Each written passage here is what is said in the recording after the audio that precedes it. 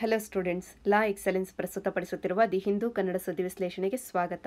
ಸುದ್ದಿ ವಿಶ್ಲೇಷಣೆಗಿಂತ ಮುಂಚೆ ಒಂದು ಸೂಚನೆ ಅಂತಂದರೆ, ಲಾ ಎಕ್ಸಲೆನ್ಸ್ ವತಿಯಿಂದ ಹೊಸ ಪ್ರಿಲಿಮ್ಸ್ ಕಮ್ ಮೇನ್ಸ್ ಬ್ಯಾಚ್ ಶುರುವಾಗ್ತಾ ಇದೆ. ಹನ್ನೆರಡನೇ ತಾರೀಕಿಂದ ಇದರ ಬಗ್ಗೆ ಹೆಚ್ಚಿನ ಮಾಹಿತಿಗೋಸ್ಕರ ಇಲ್ಲಿರುವಂಥ ನಂಬರ್ಸನ್ನು ನೀವು ಕಾಂಟ್ಯಾಕ್ಟ್ ಮಾಡಿ. ಈ ಬ್ಯಾಚಲ್ಲಿ O B C S C S T ಮತ್ತು ಮೈನಾರಿಟಿ ಸ್ಟೂಡೆಂಟ್ಸ್ಗಳಿಗೆ ಸ್ಪೆಷಲ್ ಕನ್ಸೆಷನ್ನ ಕೂಡ ಕೊಡಲಾಗುವುದು. ಇದರ ಉಪಯೋಗವನ್ನು ನೀವು ಪಡೆದುಕೊಳ್ಳಿ. ನಂತರ ಇವತ್ತಿನ ಮೊದಲನೇ ಆರ್ಟಿಕಲ್ ಅನ್ನು ನೋಡಿದರೆ ಸ್ಯಾನಿಟೇಷನ್ ವಿಷಯವಾಗಿ ಗವರ್ನಮೆಂಟ್ ಇತ್ತೀಚೆಗೆ ಸಾಕಷ್ಟು ಡೇಟಾವನ್ನು ರಿಲೀಸ್ ಮಾಡಿದೆ. ಸ್ವಚ್ಛ ಭಾರತ್ ಅಭಿಯಾನ ಅಡಿಯಲ್ಲಿ ರೂರಲ್ ಇಂಡಿಯಾವನ್ನು ಓಪನ್ ಡೆಫಿಕೇಶನ್ ಫ್ರೀ ಅಂತ ಕೂಡ ಡಿಕ್ಲೇರ್ ಮಾಡಿತು. ಅಕ್ಟೋಬರ್ ಸೆಕೆಂಡ್ ಗಾಂಧೀಜಿಯವರ ಒನ್ ಫಿಫ್ಟಿಯತ್ ಬರ್ತ್ ಆನಿವರ್ಸರಿಯ ಹಿನ್ನೆಲೆಯಲ್ಲಿ. ಈ ಒಂದು ಸ್ಕೀಮ್ ಅಡಿಯಲ್ಲಿ ಗವರ್ನಮೆಂಟ್ ಹೇಳೋದು ಅಂತಂದರೆ ರೂರಲ್ ಇಂಡಿಯಾದಲ್ಲಿ ಅರೌಂಡ್ ಟೆನ್ ಕ್ರೋರ್ ಟಾಯ್ಲೆಟ್ಸ್ಗಳನ್ನು ಕಟ್ಟಿಸಲಾಗಿದೆ ಈ ಡ್ಯೂರೇಷನಲ್ಲಿ. At the same time urban ಇಂಡಿಯಾದಲ್ಲಿ around sixty six lakh house ಹೋಲ್ಡ್ಗಳಿಗೆ ಟಾಯ್ಲೆಟ್ ಆಕ್ಸೆಸನ್ನು ಕೊಡಲಾಗಿದೆ ಅಂತ. ಆದ್ದರಿಂದ ಅರ್ಬನ್ ಇಂಡಿಯಾವನ್ನು ಕೂಡ ಓಪನ್ ಡೆಫಿಕೇಶನ್ ಫ್ರೀ ಅಂತ ಡಿಕ್ಲೇರ್ ಮಾಡೋದು ನಮಗೆ next year by early twenty twenty ಆಗುತ್ತೆ ಅನ್ನುವಂಥ ಮಾತನ್ನು ಗವರ್ನಮೆಂಟ್ ಹೇಳ್ತು. ಅದರ ಹಿನ್ನೆಲೆಯಲ್ಲಿ ಇನ್ನೊಂದು ಕ್ವೆಶನ್ನ ಕೇಳಲಾಗಿದೆ ಪಾರ್ಲಿಮೆಂಟಲ್ಲಿ. ಅದು ವೇಸ್ಟ್ ಕಲೆಕ್ಷನ್ ಸೆಗ್ರಿಗೇಷನ್ ಮತ್ತು ಪ್ರೊಸೆಸಿಂಗ್ ವಿಷಯವಾಗಿ. ಗವರ್ನಮೆಂಟ್ ಹೇಳೋದು ಅಂತಂದರೆ ಕರ್ನಾಟಕ ಛತ್ತೀಸ್ಗಢ ಮತ್ತು ಮಧ್ಯಪ್ರದೇಶ್, ಗುಜರಾತ್ನಂಥ ರಾಜ್ಯಗಳಲ್ಲಿ ವೇಸ್ಟ್ ಕಲೆಕ್ಷನ್ ಚೆನ್ನಾಗಿ ನಡೀತಾ ಇದೆ. ಈ ರಾಜ್ಯಗಳು ಸಕ್ಸಸ್ಫುಲ್ ಆಗಿದ್ದಾವೆ. ಡೋರ್ ಸ್ಟೆಪ್ಪಿಂದ ವೇಸ್ಟನ್ನು ಕಲೆಕ್ಟ್ ಮಾಡುವಲ್ಲಿ ಅನ್ನುವಂಥ ಮಾತನ್ನು ಗವರ್ನಮೆಂಟ್ ಹೇಳ್ತಾ ಇದೆ. ಆದರೆ ವೇಸ್ಟ್ ಕಲೆಕ್ಷನ್ ಜೊತೆಗೆ ವೇಸ್ಟ್ ಪ್ರೊಸೆಸಿಂಗ್ ವಿಷಯವಾಗಿ ಕೂಡ ನಮಗೆ ಡೇಟಾ ಇದೆ. ಅದು ಅಷ್ಟೇನು ಗುಡ್ ನ್ಯೂಸ್ ಅಲ್ಲ ನಮಗೆ. ಯಾಕೆ ಅಂತಂದರೆ waste collection around ninety three percentage of the house ಹೋಲ್ಡ್ಸಿಂದ ನಾವು ವೇಸ್ಟ್ ಕಲೆಕ್ಟ್ ಮಾಡ್ಕೊಳ್ತಾ ಇದ್ದೀವಿ. ಆದರೆ ಪ್ರೊಸೆಸಿಂಗ್ ಕೇವಲ ಫಿಫ್ಟಿ ಸೆವೆನ್ ಪರ್ಸೆಂಟೇಜ್ ಇದೆ. ಅಂದರೆ ಉಳಿದಿರುವಂಥ ವೇಸ್ಟ್ ಎಲ್ಲಿ ಹೋಗ್ತಾ ಇದೆ? ನಮಗೆ ಪೊಲ್ಯೂಷನನ್ನು ಕಾಸ್ ಮಾಡ್ತಾ ಇದೆ. ಪೊಲ್ಯೂಷನ್ ಕೇವಲ ಸಾಯಿಲ್ ಪೊಲ್ಯೂಷನ್ ಮಾತ್ರನೇ ಅಲ್ಲ ವಾಟರ್ ಪೊಲ್ಯೂಷನ್ ಕೂಡ ಮಾಡುತ್ತೆ. ಗ್ರೌಂಡ್ ವಾಟರ್ ಪೊಲ್ಯೂಷನ್ ಆಗುತ್ತೆ. ಕೆರೆಗಳು, ಸರೋವರಗಳು ನದಿಗಳಲ್ಲಿರುವಂಥ ನೀರು ಕೂಡ ಇಲ್ಲಿ ಮಾಲಿನ್ಯ ಆಗುತ್ತೆ. ನಂತರ ಏರ್ ಪೊಲ್ಯೂಷನ್ ಕೂಡ ಆಗುತ್ತೆ. ಯಾಕೆ ಅಂತಂದರೆ ಈ ಒಂದು ವೇಸ್ಟನ್ನು ಸುಟ್ಟಂಥ ಸಂದರ್ಭದಲ್ಲಿ ಸಾಕಷ್ಟು ಹಾರ್ಮ್ಫುಲ್ ಗ್ಯಾಸಸ್ಗಳು ನಮ್ಮ ವಾತಾವರಣಕ್ಕೆ ರಿಲೀಸ್ ಆಗುತ್ತೆ. ಆದ್ದರಿಂದ ಸೊ ವೇಸ್ಟ್ ಪ್ರೋಸೆಸಿಂಗಲ್ಲಿ ನಾವಿನ್ನೂ ಹಿಂದೆ ಉಳಿದಿದ್ದೀವಿ ಅಂತ ನಿಮಗೆ ಒಂದು ಪಾಯಿಂಟ್ ಅರ್ಥ ಆಯಿತು. ನಂತರ ರಾಜ್ಯಗಳ ವಿಷಯಕ್ಕೆ ಬಂದಿದೆ ಆದರೆ ಛತ್ತೀಸ್ಗಢಲ್ಲಿ ನಮಗೆ ಒಳ್ಳೆಯ ಮಾಡೆಲ್ಗಳು ಸಿಗ್ತವೆ. ಇಲ್ಲಿ ವೇಸ್ಟ್ ಕಲೆಕ್ಷನ್ನು ಚೆನ್ನಾಗಿ ಇದೆ ವೇಸ್ಟ್ ಮ್ಯಾನೇಜ್ಮೆಂಟು ಚೆನ್ನಾಗಿ ಇದೆ. ಆದ್ದರಿಂದ ನೀವು ಛತ್ತೀಸ್ಗಢ ಮಾಡೆಲನ್ನು ನಿಮ್ಮ ಆನ್ಸರ್ ಮತ್ತು ಎಸ್ಸೆಗಳಲ್ಲಿ ಮೆನ್ಷನ್ ಮಾಡಬಹುದು. ಇಲ್ಲಿ ಛತ್ತೀಸ್ಗಢ ಮಾಡೆಲ್ ಅನ್ನುವಂಥ ಪದವನ್ನು ಮೆನ್ಷನ್ ಮಾಡಿದ್ರೂ ಸಾಕು, ನಿಮ್ಮ ಆನ್ಸರ್ಲಿ ವ್ಯಾಲ್ಯೂ ಅಡಿಷನ್ ಆಗುತ್ತೆ. ಅದಕ್ಕೋಸ್ಕರ ಛತ್ತೀಸ್ಗಢಲ್ಲಿ ಇವತ್ತು around ninety percentage of the waste collected ಏನಿದೆ, ಅದನ್ನು ಪ್ರೊಸೆಸಿಂಗ್ ಮಾಡ್ತಾ ಇದ್ದಾರೆ. ಇದು ಛತ್ತೀಸ್ಗಢಿನ ಸಕ್ಸಸ್ ಆಗಿದೆ. ಅದೇ ಮಧ್ಯಪ್ರದೇಶದಲ್ಲಿ ಏಯ್ಟಿ ಫೋರ್ ಪರ್ಸೆಂಟೇಜ್ ವೇಸ್ಟ್ ಏನು ಕಲೆಕ್ಟ್ ಮಾಡಿದ್ದಾರೆ, ಅದನ್ನು ಪ್ರೊಸೆಸ್ ಮಾಡ್ತಾ ಇದ್ದಾರೆ. ಗುಜರಾತಲ್ಲಿ ಏಯ್ಟಿ ಟೂ ಪರ್ಸೆಂಟೇಜ್ ಆದರೆ ಮಹಾರಾಷ್ಟ್ರದಲ್ಲಿ ಕೇವಲ ಫಿಫ್ಟಿ ಸೆವೆನ್ ಪರ್ಸೆಂಟೇಜ್ ಮತ್ತು ನ್ಯಾಷನಲ್ ಆವರೇಜ್ ಕೂಡ ಫಿಫ್ಟಿ ಸೆವೆನ್ ಪರ್ಸೆಂಟೇಜ್ ಇದೆ. ಈ ಒಟ್ಟಾರೆ ಆರ್ಟಿಕಲಿಂದ ನಿಮಗೆ ಛತ್ತೀಸ್ಗಢ ಮಾಡೆಲ್ ಒಂದು ನೆನಪಿದ್ರೆ ಸಾಕಾಗುತ್ತೆ ಮತ್ತು ಎಂಟೈರ್ ಇಂಡಿಯಾದಲ್ಲಿ ಕೇವಲ ಫಿಫ್ಟಿ ಸೆವೆನ್ ಪರ್ಸೆಂಟೇಜ್ ವೇಸ್ಟನ್ನು ಮಾತ್ರನೇ ನಾವು ಪ್ರೊಸೆಸ್ ಮಾಡ್ತಿದ್ದೀವಿ ಅನ್ನುವಂಥ ಪಾಯಿಂಟನ್ನು ನೆನಪಿಟ್ಕೊಂಡ್ರೆ ಸಾಕಾಗುತ್ತೆ. ಒಂದು ಸ್ಯಾನಿಟೇಷನ್ ಆನ್ಸರ್ ಅಡಿಯಲ್ಲಿ ಈ ಪಾಯಿಂಟ್ಗಳನ್ನು ನೀವು ಮೆನ್ಷನ್ ಮಾಡಬೇಕು. ಎರಡನೆಯದಾಗಿ ಪೊಲ್ಯೂಷನ್ ಬಗ್ಗೆ ಮಾತಾಡ್ತಿರ್ಬೇಕಾದ್ರೆ ಅದರಲ್ಲೂ ಏರ್ ಪೊಲ್ಯೂಷನ್ ಬಗ್ಗೆ ಮಾತಾಡ್ತಿರಬೇಕಾದ್ರೆ ಈ ವೇಸ್ಟ್ ಪ್ರೋಸೆಸಿಂಗ್ ಬಗ್ಗೆ ನೀವು ಮಾತಾಡಬೇಕು. ವೇಸ್ಟನ್ನು ಸರಿಯಾಗಿ ಪ್ರೋಸೆಸ್ ಮಾಡಲಿಲ್ಲ ಅಂತಂದರೆ ಇದನ್ನು ಸುಟ್ಟಿದ್ದೆ ಆದರೆ ಲ್ಯಾಂಡ್ ಫಿಲ್ಗಳಲ್ಲಿ ತೊಗೊಂಡೋಗಿ ನಾವು ಸುಡ್ತೀವಿ. ಅದರಿಂದ ಸಾಕಷ್ಟು ಮಾಲಿನ್ಯಕಾರಕ ಅಂಶಗಳು ವಾತಾವರಣವನ್ನು ಸೇರುತ್ತೆ. ಅದೇ ರೀತಿಯಾಗಿ ವಾಟರ್ ಪೊಲ್ಯೂಷನ್ ಆಗುತ್ತೆ ಸಾಯಿಲ್ ಪೊಲ್ಯೂಷನ್ ಆಗುತ್ತೆ ಅಂತ ನೀವು ಹೇಳಬೇಕಾಗತ್ತೆ. ಇಷ್ಟು ಈ ಆರ್ಟಿಕಲ್ನ ಉಪಯೋಗ. ನಂತರ ಈ ಆರ್ಟಿಕಲಲ್ಲಿ ಮಹಾರಾಷ್ಟ್ರ ಮತ್ತು ಕರ್ನಾಟಕದ ನಡುವೆ ಇರುವಂಥ ಬಾರ್ಡರ್ ಡಿಸ್ಪ್ಯೂಟ್ ಬಗ್ಗೆ ಮಾತಾಡ್ತಾ ಇದ್ದಾರೆ. ಬೆಳಗಾವಿ ಅನ್ನುವಂಥ ಜಿಲ್ಲೆಯ ವಿಷಯವಾಗಿ ಮಹಾರಾಷ್ಟ್ರ ಮತ್ತು ಕರ್ನಾಟಕದ ನಡುವೆ ಬಾರ್ಡರ್ ಡಿಸ್ಪ್ಯೂಟ್ ಇದೆ. ಅದರ ಬಗ್ಗೆ ಈ ಆರ್ಟಿಕಲಲ್ಲಿ ಒಂದು ಅಪ್ಡೇಟನ್ನು ಕೊಟ್ಟಿದ್ದಾರೆ. ನಮ್ಮ ದೇಶದಾದ್ಯಂತ ಹಲವಾರು ರಾಜ್ಯಗಳಲ್ಲಿ ಈ ರೀತಿಯಾದಂಥ ಬಾರ್ಡರ್ ಡಿಸ್ಪ್ಯೂಟ್ಗಳು ಇದ್ದಾವೆ ಇವುಗಳನ್ನೇ ಟಾರ್ಗೆಟ್ ಮಾಡಿ ಸೆಪರೇಟ್ ಕ್ವೆಶನ್ ಕೇಳುವಂಥ ಸಾಧ್ಯತೆ ತುಂಬ ಕಡಿಮೆ. ಈಗ ಸದ್ಯಕ್ಕೆ ಈ ಆರ್ಟಿಕಲಲ್ಲಿ ಹೇಳ್ತಾ ಇರೋದು ಅಂತಂದ್ರೆ, ಮಹಾರಾಷ್ಟ್ರ ಈ ಬೆಳಗಾವಿ ಜಿಲ್ಲೆಯ ವಿಷಯವಾಗಿರುವಂಥ ಬಾರ್ಡರ್ ಡಿಸ್ಪ್ಯೂಟನ್ನು ರಿಸಾಲ್ವ್ ಮಾಡಲಿಕ್ಕೆ ಅಂತ ತನ್ನ ಕಡೆಯಿಂದ ಒಂದು ಮಿನಿಸ್ಟೀರಿಯಲ್ ಕೋಆರ್ಡಿನೇಟರ್ಸನ್ನು ಅಪಾಯಿಂಟ್ ಮಾಡಿದೆ. ಕರ್ನಾಟಕದಲ್ಲಿ ಕೂಡ ಅದೇ ಡಿಮ್ಯಾಂಡ್ ಇದೆ. ಕರ್ನಾಟಕವೂ ಕೂಡ ಮಿನಿಸ್ಟೀರಿಯಲ್ ಕೋಆರ್ಡಿನೇಟರ್ಸನ್ನು ಅಪಾಯಿಂಟ್ ಮಾಡಬೇಕು ಅನ್ನುವಂಥ ಡಿಮ್ಯಾಂಡನ್ನು ತಗೊಂಡು ಬಂದಿದ್ದಾರೆ. ಇಷ್ಟು ನಮಗೆ ಈ ಆರ್ಟಿಕಲಿಂದ ಸಿಗುವಂಥ ಪಾಯಿಂಟು. ಇನ್ ಕೇಸ್ ಇದರಲ್ಲಿ ಏನಾದರೂ ಬೆಳವಣಿಗೆ ಆಗಿದ್ದೆ ಆದರೆ ನಾವು ಫೆಡರಲಿಸಂ ವಿಷಯವಾಗಿ ಕೆಲವೊಂದು ಪಾಯಿಂಟ್ಗಳನ್ನ ಡಿಸ್ಕಸ್ ಮಾಡಬೇಕಾಗುತ್ತೆ. ಬೆಳವಣಿಗೆಗಳು ಆದ ನಂತರ ಡಿಸ್ಕಸ್ ಮಾಡೋಣ. ಈಗ ಸದ್ಯಕ್ಕೆ ಈ ಅಪ್ಡೇಟನ್ನು ಒಂದು ಕಡೆ ನೋಟ್ ಡೌನ್ ಮಾಡ್ಕೊಂಡಿರಿ. ನಂತರ ಈ ಆರ್ಟಿಕಲಲ್ಲಿ ಲೋಕ್ಪಾಲ್ ಬಗ್ಗೆ ಮಾತಾಡ್ತಾ ಇದ್ದಾರೆ. ಲೋಕ್ಪಾಲ್ ಅಂಡ್ ಲೋಕಾಯುಕ್ತ ಆಕ್ಟ್ ಬಗ್ಗೆ ಈಗಾಗಲೇ ನಾವು ಇನ್ ಡೀಟೈಲ್ಡ್ ಆಗಿ ಸ್ಟಡಿ ಮಾಡಿದ್ದೀವಿ ಅಲ್ಲಿರುವಂಥ ಕೆಲವೊಂದು ಪಾಯಿಂಟ್ಗಳನ್ನು ರೀಕಾಲ್ ಮಾಡ್ಕೊಳ್ಳೋಣ. ನಂತರ ಈ ಆರ್ಟಿಕಲಲ್ಲಿ ಏನು ಹೇಳ್ತಿದ್ದಾರೆ ಅನ್ನೋದು ಸುಲಭವಾಗಿ ಅರ್ಥ ಆಗುತ್ತೆ. ಈ ಲೋಕ್ಪಾಲ್ ಮತ್ತು ಲೋಕಾಯುಕ್ತ ಆ್ಯಕ್ಟನ್ನು ಟೂ ತೌಸಂಡ್ ತರ್ಟೀನಲ್ಲಿ ನಾವು ತೊಗೊಂಡು ಬರ್ತೀವಿ. ಈ ಲೋಕ್ಪಾಲ್ ಮತ್ತು ಲೋಕಾಯುಕ್ತ ಅನ್ನೋದು ನಮ್ಮ ದೇಶದಲ್ಲಿ ಆಂಟಿ ಕರಪ್ಷನ್ ಒಂಬುಡ್ಸ್ಮನ್ ಆಗಿದೆ. ಇಲ್ಲಿ ಒಂಬುಡ್ಸ್ಮನ್ ಅನ್ನುವಂಥ ಕಾನ್ಸೆಪ್ಟನ್ನು ಸ್ವೀಡನ್ ದೇಶದಿಂದ ನಾವು ಇನ್ಸ್ಪಿರೇಷನ್ ಪಡ್ಕೊಂಡು ಇಂಡಿಯಾದಲ್ಲಿ ತೊಗೊಂಡು ಬರ್ತಾ ಇದ್ದೀವಿ ಎರಡು ಸಾವಿರದ ಹದಿಮೂರರಲ್ಲೇ ಈ ಆ್ಯಕ್ಟನ್ನು ಪಾಸ್ ಮಾಡಿದ್ರು. ಈಗಾಗಲೇ ಐದರಿಂದ ಆರು ವರ್ಷ ಕಳೆದರೂ ಕೂಡ ಈ ಆ್ಯಕ್ಟನ್ನು ಇನ್ನೂ ನಾವು ಇಂಪ್ಲಿಮೆಂಟೇಷನ್ಗೆ ತಂದಿಲ್ಲ. ಅದಕ್ಕೆ ಕೆಲವೊಂದು ಕಾರಣಗಳಿದ್ದಾವೆ ಅವುಗಳನ್ನು ನೋಡೋಣ. ಅದಕ್ಕಿಂತ ಮುಂಚೆ ಸ್ವಲ್ಪ ಬೇಸಿಕ್ಸನ್ನು ನೋಡಿದ್ರೆ ಲೋಕ್ಪಾಲಿನ ಕಾಂಪೋಸಿಷನ್ ನಮಗೆ ವೆರಿ ಇಂಪಾರ್ಟೆಂಟ್ ಪ್ರಿಲಿಮ್ಸಲ್ಲಿ ಕೂಡ ಕೇಳಬಹುದು. ಮೊದಲಿಗೆ ಕಾಂಪೋಸಿಷನಲ್ಲಿ ಒಬ್ಬರು ಚೈರ್ ಪರ್ಸನ್ ಇರ್ತಾರೆ ಅಪ್ ಟು ಏಯ್ಟ್ ಮೆಂಬರ್ಸ್ ಇರಬಹುದು. ಚೈರ್ ಅನ್ನ ಪ್ರೆಸಿಡೆಂಟ್ ಅವರು ಅಪಾಯಿಂಟ್ ಮಾಡ್ತಾರೆ. ಅವರು ಯಾರಾಗಬಹುದು ಅಂತಂದರೆ ಸುಪ್ರೀಂ ಕೋರ್ಟಿನ ಜಡ್ಜು, ರಿಟೈರ್ಡ್ ಅಥವಾ ಸರ್ವಿಂಗು, ಅಥವಾ chief justice of high court, retired ಅಥವಾ ಸರ್ವಿಂಗು, ಅಥವಾ ಎಮಿನೆಂಟ್ ಪರ್ಸನ್ ಆಗಿರಬಹುದು. ಈ ಎಮಿನೆಂಟ್ ಪರ್ಸನ್ ಕ್ಲೀನ್ ಇಮೇಜನ್ನು ಹೊಂದಿರಬೇಕು. ಅಟ್ಲೀಸ್ಟ್ ಟ್ವೆಂಟಿ ಫೈವ್ ಇಯರ್ಸ್ ಆದರೂ ಎಕ್ಸ್ಪೀರಿಯನ್ಸನ್ನು ಹೊಂದಿರಬೇಕು ಈ ವಿಷಯಗಳಲ್ಲಿ. ಆ್ಯಂಟಿ ಕರಪ್ಷನ್ ಪಾಲಿಸಿಯಲ್ಲಿ ಪಬ್ಲಿಕ್ ಅಡ್ಮಿನಿಸ್ಟ್ರೇಷನಲ್ಲಿ ವಿಜಿಲೆನ್ಸಲ್ಲಿ ಲಾ ಆ್ಯಂಡ್ ಮ್ಯಾನೇಜ್ಮೆಂಟಲ್ಲಿ ಈ ವಿಷಯಗಳಲ್ಲಿ ಎಕ್ಸ್ಪೀರಿಯನ್ಸ್ ಅನ್ನ ಹೊಂದಿರುವಂತಹ ಪರ್ಸನ್ ಅನ್ನ ಮಾತ್ರನೇ ನಾವಿಲ್ಲಿ ಚೇರ್ ಪರ್ಸನ್ ಆಗಿ ಅಪಾಯಿಂಟ್ ಮಾಡಲಿಕ್ಕೆ ಆಗುತ್ತೆ. ಅಪಾಯಿಂಟ್ ಮಾಡೋದು ಪ್ರೆಸಿಡೆಂಟು. ಆದರೆ ಅಪಾಯಿಂಟ್ ಮಾಡ್ತಿರಬೇಕಾದ್ರೆ ಒಂದು ಸೆಲೆಕ್ಟ್ ಕಮಿಟಿ ರೆಕಮೆಂಡೇಶನ್ಸನ್ನು ಕೊಡುತ್ತೆ. ಅದರ ಆಧಾರದ ಮೇಲೆ ಪ್ರೆಸಿಡೆಂಟ್ ಅಪಾಯಿಂಟ್ ಮಾಡ್ತಾರೆ. ಈ ಸೆಲೆಕ್ಟ್ ಕಮಿಟಿಯಲ್ಲಿ ಐದು ಜನ ಮೆಂಬರ್ಸ್ ಇರ್ತಾರೆ. ವೆರಿ ಇಂಪಾರ್ಟೆಂಟ್, ಇದನ್ನು ಪ್ರಿಲಿಮ್ಸಲ್ಲಿ ಕೇಳಬಹುದು. ಈ ಸೆಲೆಕ್ಟ್ ಕಮಿಟಿಯಲ್ಲಿ ಮೊದಲಿಗೆ ಪ್ರೈಮ್ ಮಿನಿಸ್ಟರ್ ಇರ್ತಾರೆ. ಎರಡನೇದಾಗಿ ಚೀಫ್ ಜಸ್ಟಿಸ್ ಆಫ್ ಇಂಡಿಯಾ ಅಥವಾ ಅವರಿಲ್ಲ ಅಂತಂದರೆ ಅವರ ಕಡೆಯಿಂದ ಒಬ್ಬರು ನಾಮಿನಿಯನ್ನು ಕಳಿಸ್ತಾರೆ. ಸುಪ್ರೀಂ ಕೋರ್ಟ್ ಜಡ್ಜ್ ಒಬ್ಬರನ್ನು ನಾಮಿನಿಯಾಗಿ ಕಳಿಸ್ತಾರೆ. ನಂತರ ಮೂರನೆಯದಾಗಿ ಲೋಕಸಭೆಯ ಸ್ಪೀಕರ್ ನಾಲ್ಕನೆಯದಾಗಿ ಲೀಡರ್ ಆಫ್ ಅಪೋಸಿಷನ್ ಐದನೆಯದಾಗಿ ಎಮಿನೆಂಟ್ ಜುರಿಸ್ಟ್. ಇಲ್ಲಿ ಲೀಡರ್ ಆಫ್ ಅಪೋಸಿಷನ್ನ ಕಾರಣದಿಂದಾಗಿ ಈ ಆ್ಯಕ್ಟನ್ನು ಡಿಲೇ ಮಾಡಲಾಗಿದೆ ಇಂಪ್ಲಿಮೆಂಟೇಷನ್ಗೆ ಯಾಕೆ ಅಂತಂದರೆ ಸಿಕ್ಸ್ಟೀನ್ತ್ ಲೋಕಸಭೆಯಲ್ಲಿ, ಇವತ್ತು ಇರುವಂಥ ಸೆವೆಂಟೀನ್ತ್ ಲೋಕಸಭೆಯಲ್ಲಿ ಯಾರನ್ನೂ ನಾವು ಲೀಡರ್ ಆಫ್ ಅಪೋಸಿಷನ್ ಅಂತ ಫಾರ್ಮಲಿ ಡಿಕ್ಲೇರ್ ಮಾಡಿಲ್ಲ. ಯಾಕೆ ಅಂತಂದರೆ ಮಾವಲಂಕರ್ ಫಾರ್ಮುಲಾ ಹೇಳುತ್ತೆ, ಯಾವ political party at least ten percentage of the ಸೀಟ್ಸನ್ನು ಹೊಂದಿದೆಯೋ ಆ ಪೊಲಿಟಿಕಲ್ ಪಾರ್ಟಿಯ ಲೀಡರನ್ನು ಮಾತ್ರನೇ ನಾವು ಲೀಡರ್ ಆಫ್ ಅಪೋಸಿಷನ್ ಅಂತ ಕರೀಲಿಕ್ಕೆ ಆಗುತ್ತೆ ಹೌಸಲ್ಲಿ ಅಂತ. ಆದರೆ ಈ ಸಿಕ್ಸ್ಟೀನ್ತ್ ಲೋಕಸಭೆ ಮತ್ತು ಸೆವೆಂಟೀನ್ತ್ ಲೋಕಸಭೆಯಲ್ಲಿ ಯಾವ ಪೊಲಿಟಿಕಲ್ ಪಾರ್ಟಿಯು ಮಿನಿಮಮ್ ಟೆನ್ ಪರ್ಸೆಂಟೇಜ್ ಎಂ ಪಿಗಳನ್ನು ಹೊಂದಿಲ್ಲ. ಆ ಕಾರಣದಿಂದಾಗಿಯೇ ಲೀಡರ್ ಆಫ್ ಅಪೋಸಿಷನ್ ಫಾರ್ಮಲಿ ನಮ್ಮ ಹೌಸಲ್ಲಿ ಇಲ್ಲ. ಅಂದರೆ ಲೋಕಸಭೆಯಲ್ಲಿ ಇಲ್ಲ.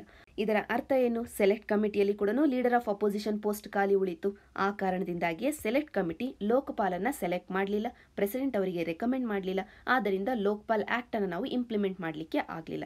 ಇತ್ತೀಚೆಗೆ ಸುಪ್ರೀಂ ಕೋರ್ಟ್ ಇಂಟರ್ವ್ಯೂನ್ ಮಾಡ್ತು. ಆ ಕಾರಣದಿಂದಾಗಿ ಮೊಟ್ಟ ಮೊದಲನೇ ಲೋಕಪಾಲನ್ನು ಈಗ ಸದ್ಯಕ್ಕೆ ಅಪಾಯಿಂಟ್ ಮಾಡಿದ್ದಾರೆ. ನಂತರ ಮೆಂಬರ್ಸ್ ವಿಷಯಕ್ಕೆ ಬಂದಿದ್ದರೆ ಫಿಫ್ಟಿ ಪರ್ಸೆಂಟೇಜ್ ಆಫ್ ದಿ ಮೆಂಬರ್ಸ್ಗೆ ಇಲ್ಲಿ ರಿಸರ್ವೇಷನ್ನ ಕೊಡಲಾಗಿದೆ. ಈ at least fifty percentage of the members S C S T O B C minorities ಮತ್ತು ವುಮೆನ್ ಕಮ್ಯುನಿಟಿಯಿಂದನೇ ಬರಬೇಕು ಅಂತ ಈ ಆ್ಯಕ್ಟಲ್ಲಿ ಮೆನ್ಷನ್ ಮಾಡಲಾಗಿದೆ.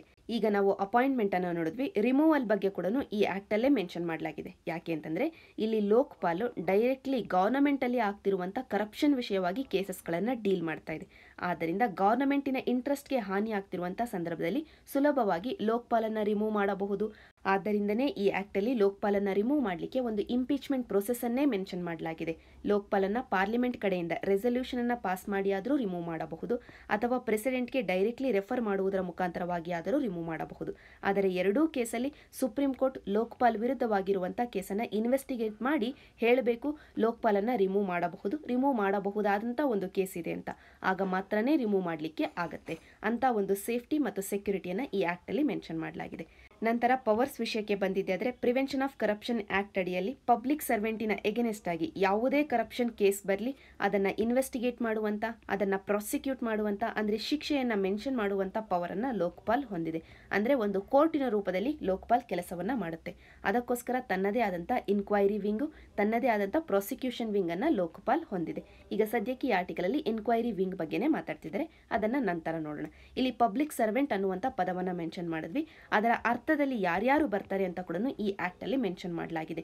ಎಲ್ಲ ಎಂ ಪಿಗಳು, ಎಲ್ಲ ಕ್ಯಾಬಿನೆಟ್ ಮಿನಿಸ್ಟರ್ಸ್ಗಳು, ಇವತ್ತಿನ ಮಿನಿಸ್ಟರ್ಸ್ ಎಂ ಪಿಗಳಾದರೂ ಆಗಿರಬಹುದು, ಈಗಾಗಲೇ ರಿಸೈನ್ ಮಾಡಿರುವಂಥ ಎಂ ಪಿ ಮಿನಿಸ್ಟರ್ಸ್ಗಳಾದರೂ ಆಗಿರಬಹುದು.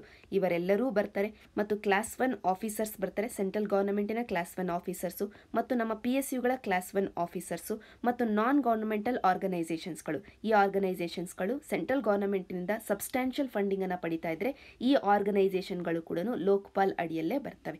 ಅಷ್ಟರ ಮಟ್ಟಿಗೆ ವೈಡ್ ಜುರಿಸ್ಟಿಕ್ಷನ್ ಅನ್ನು ಹೊಂದಿದೆ. ಆದ್ದರಿಂದನೇ ಇಂಡಿಯಾದಲ್ಲಿ ಕರಪ್ಷನ್ ಅನ್ನು ಕಡಿಮೆ ಮಾಡಲಿಕ್ಕೆ ಇದು one of the key pillar ಆಗೋದಿದೆ ಅನ್ನುವಂಥ ಹೋಪ್ ನಮ್ಮಲ್ಲಿ ಇದೆ.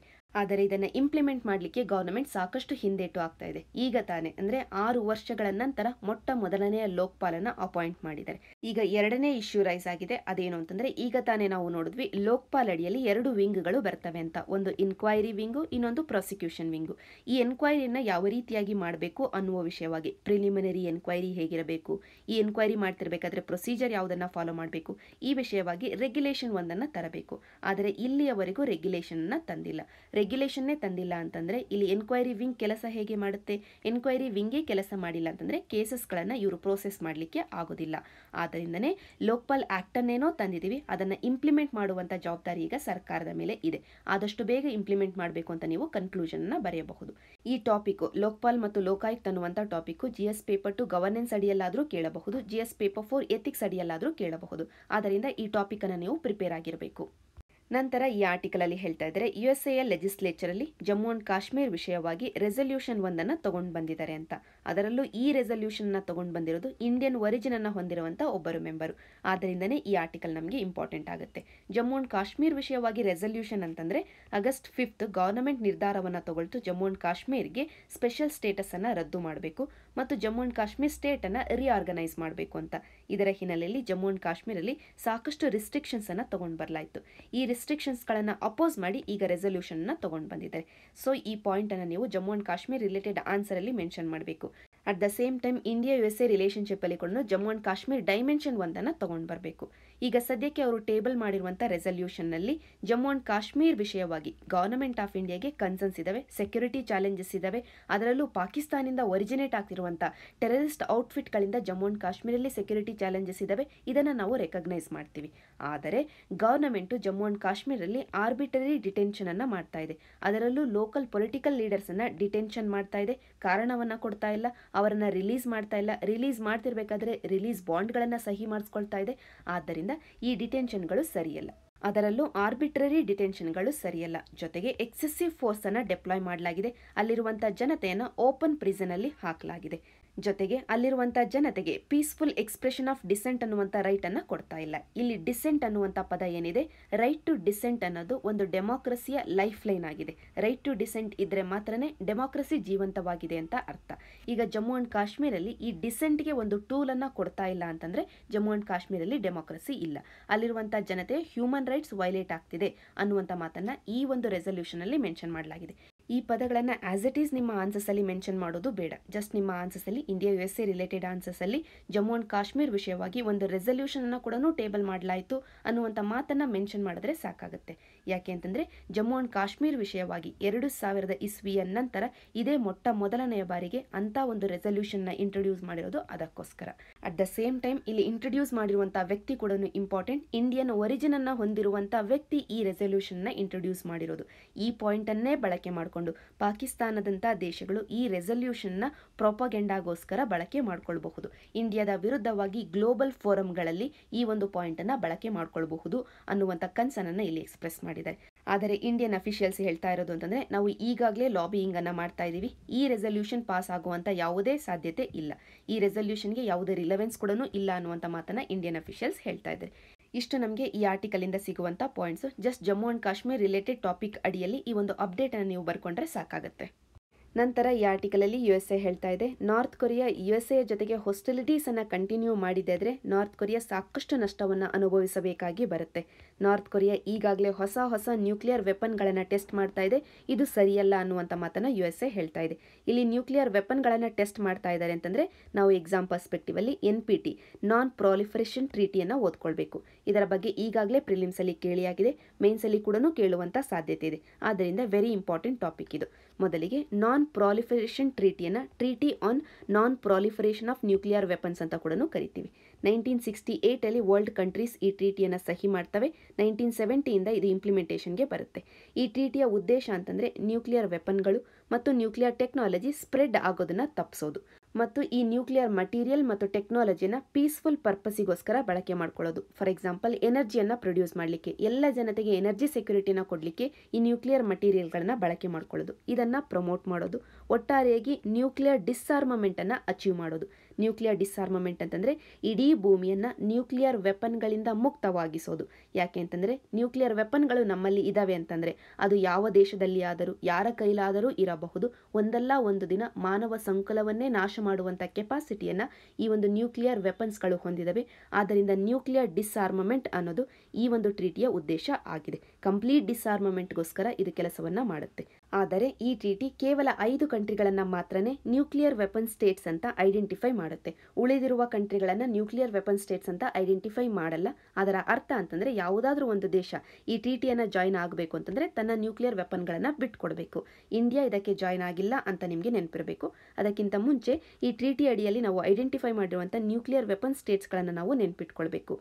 You N S C ಅಡಿಯಲ್ಲಿರುವಂಥ P five members U S A U S S R ಅಥವಾ ಇವತ್ತಿನ ರಷ್ಯಾ, ಚೈನಾ, ಫ್ರಾನ್ಸ್ ಮತ್ತು ಬ್ರಿಟನ್ ಈ ಐದು ದೇಶಗಳನ್ನು ಈ ಟ್ರೀಟಿ ಅಡಿಯಲ್ಲಿ ನ್ಯೂಕ್ಲಿಯರ್ ವೆಪನ್ ಸ್ಟೇಟ್ಸ್ ಅಂತ ಐಡೆಂಟಿಫೈ ಮಾಡಲಾಗಿದೆ.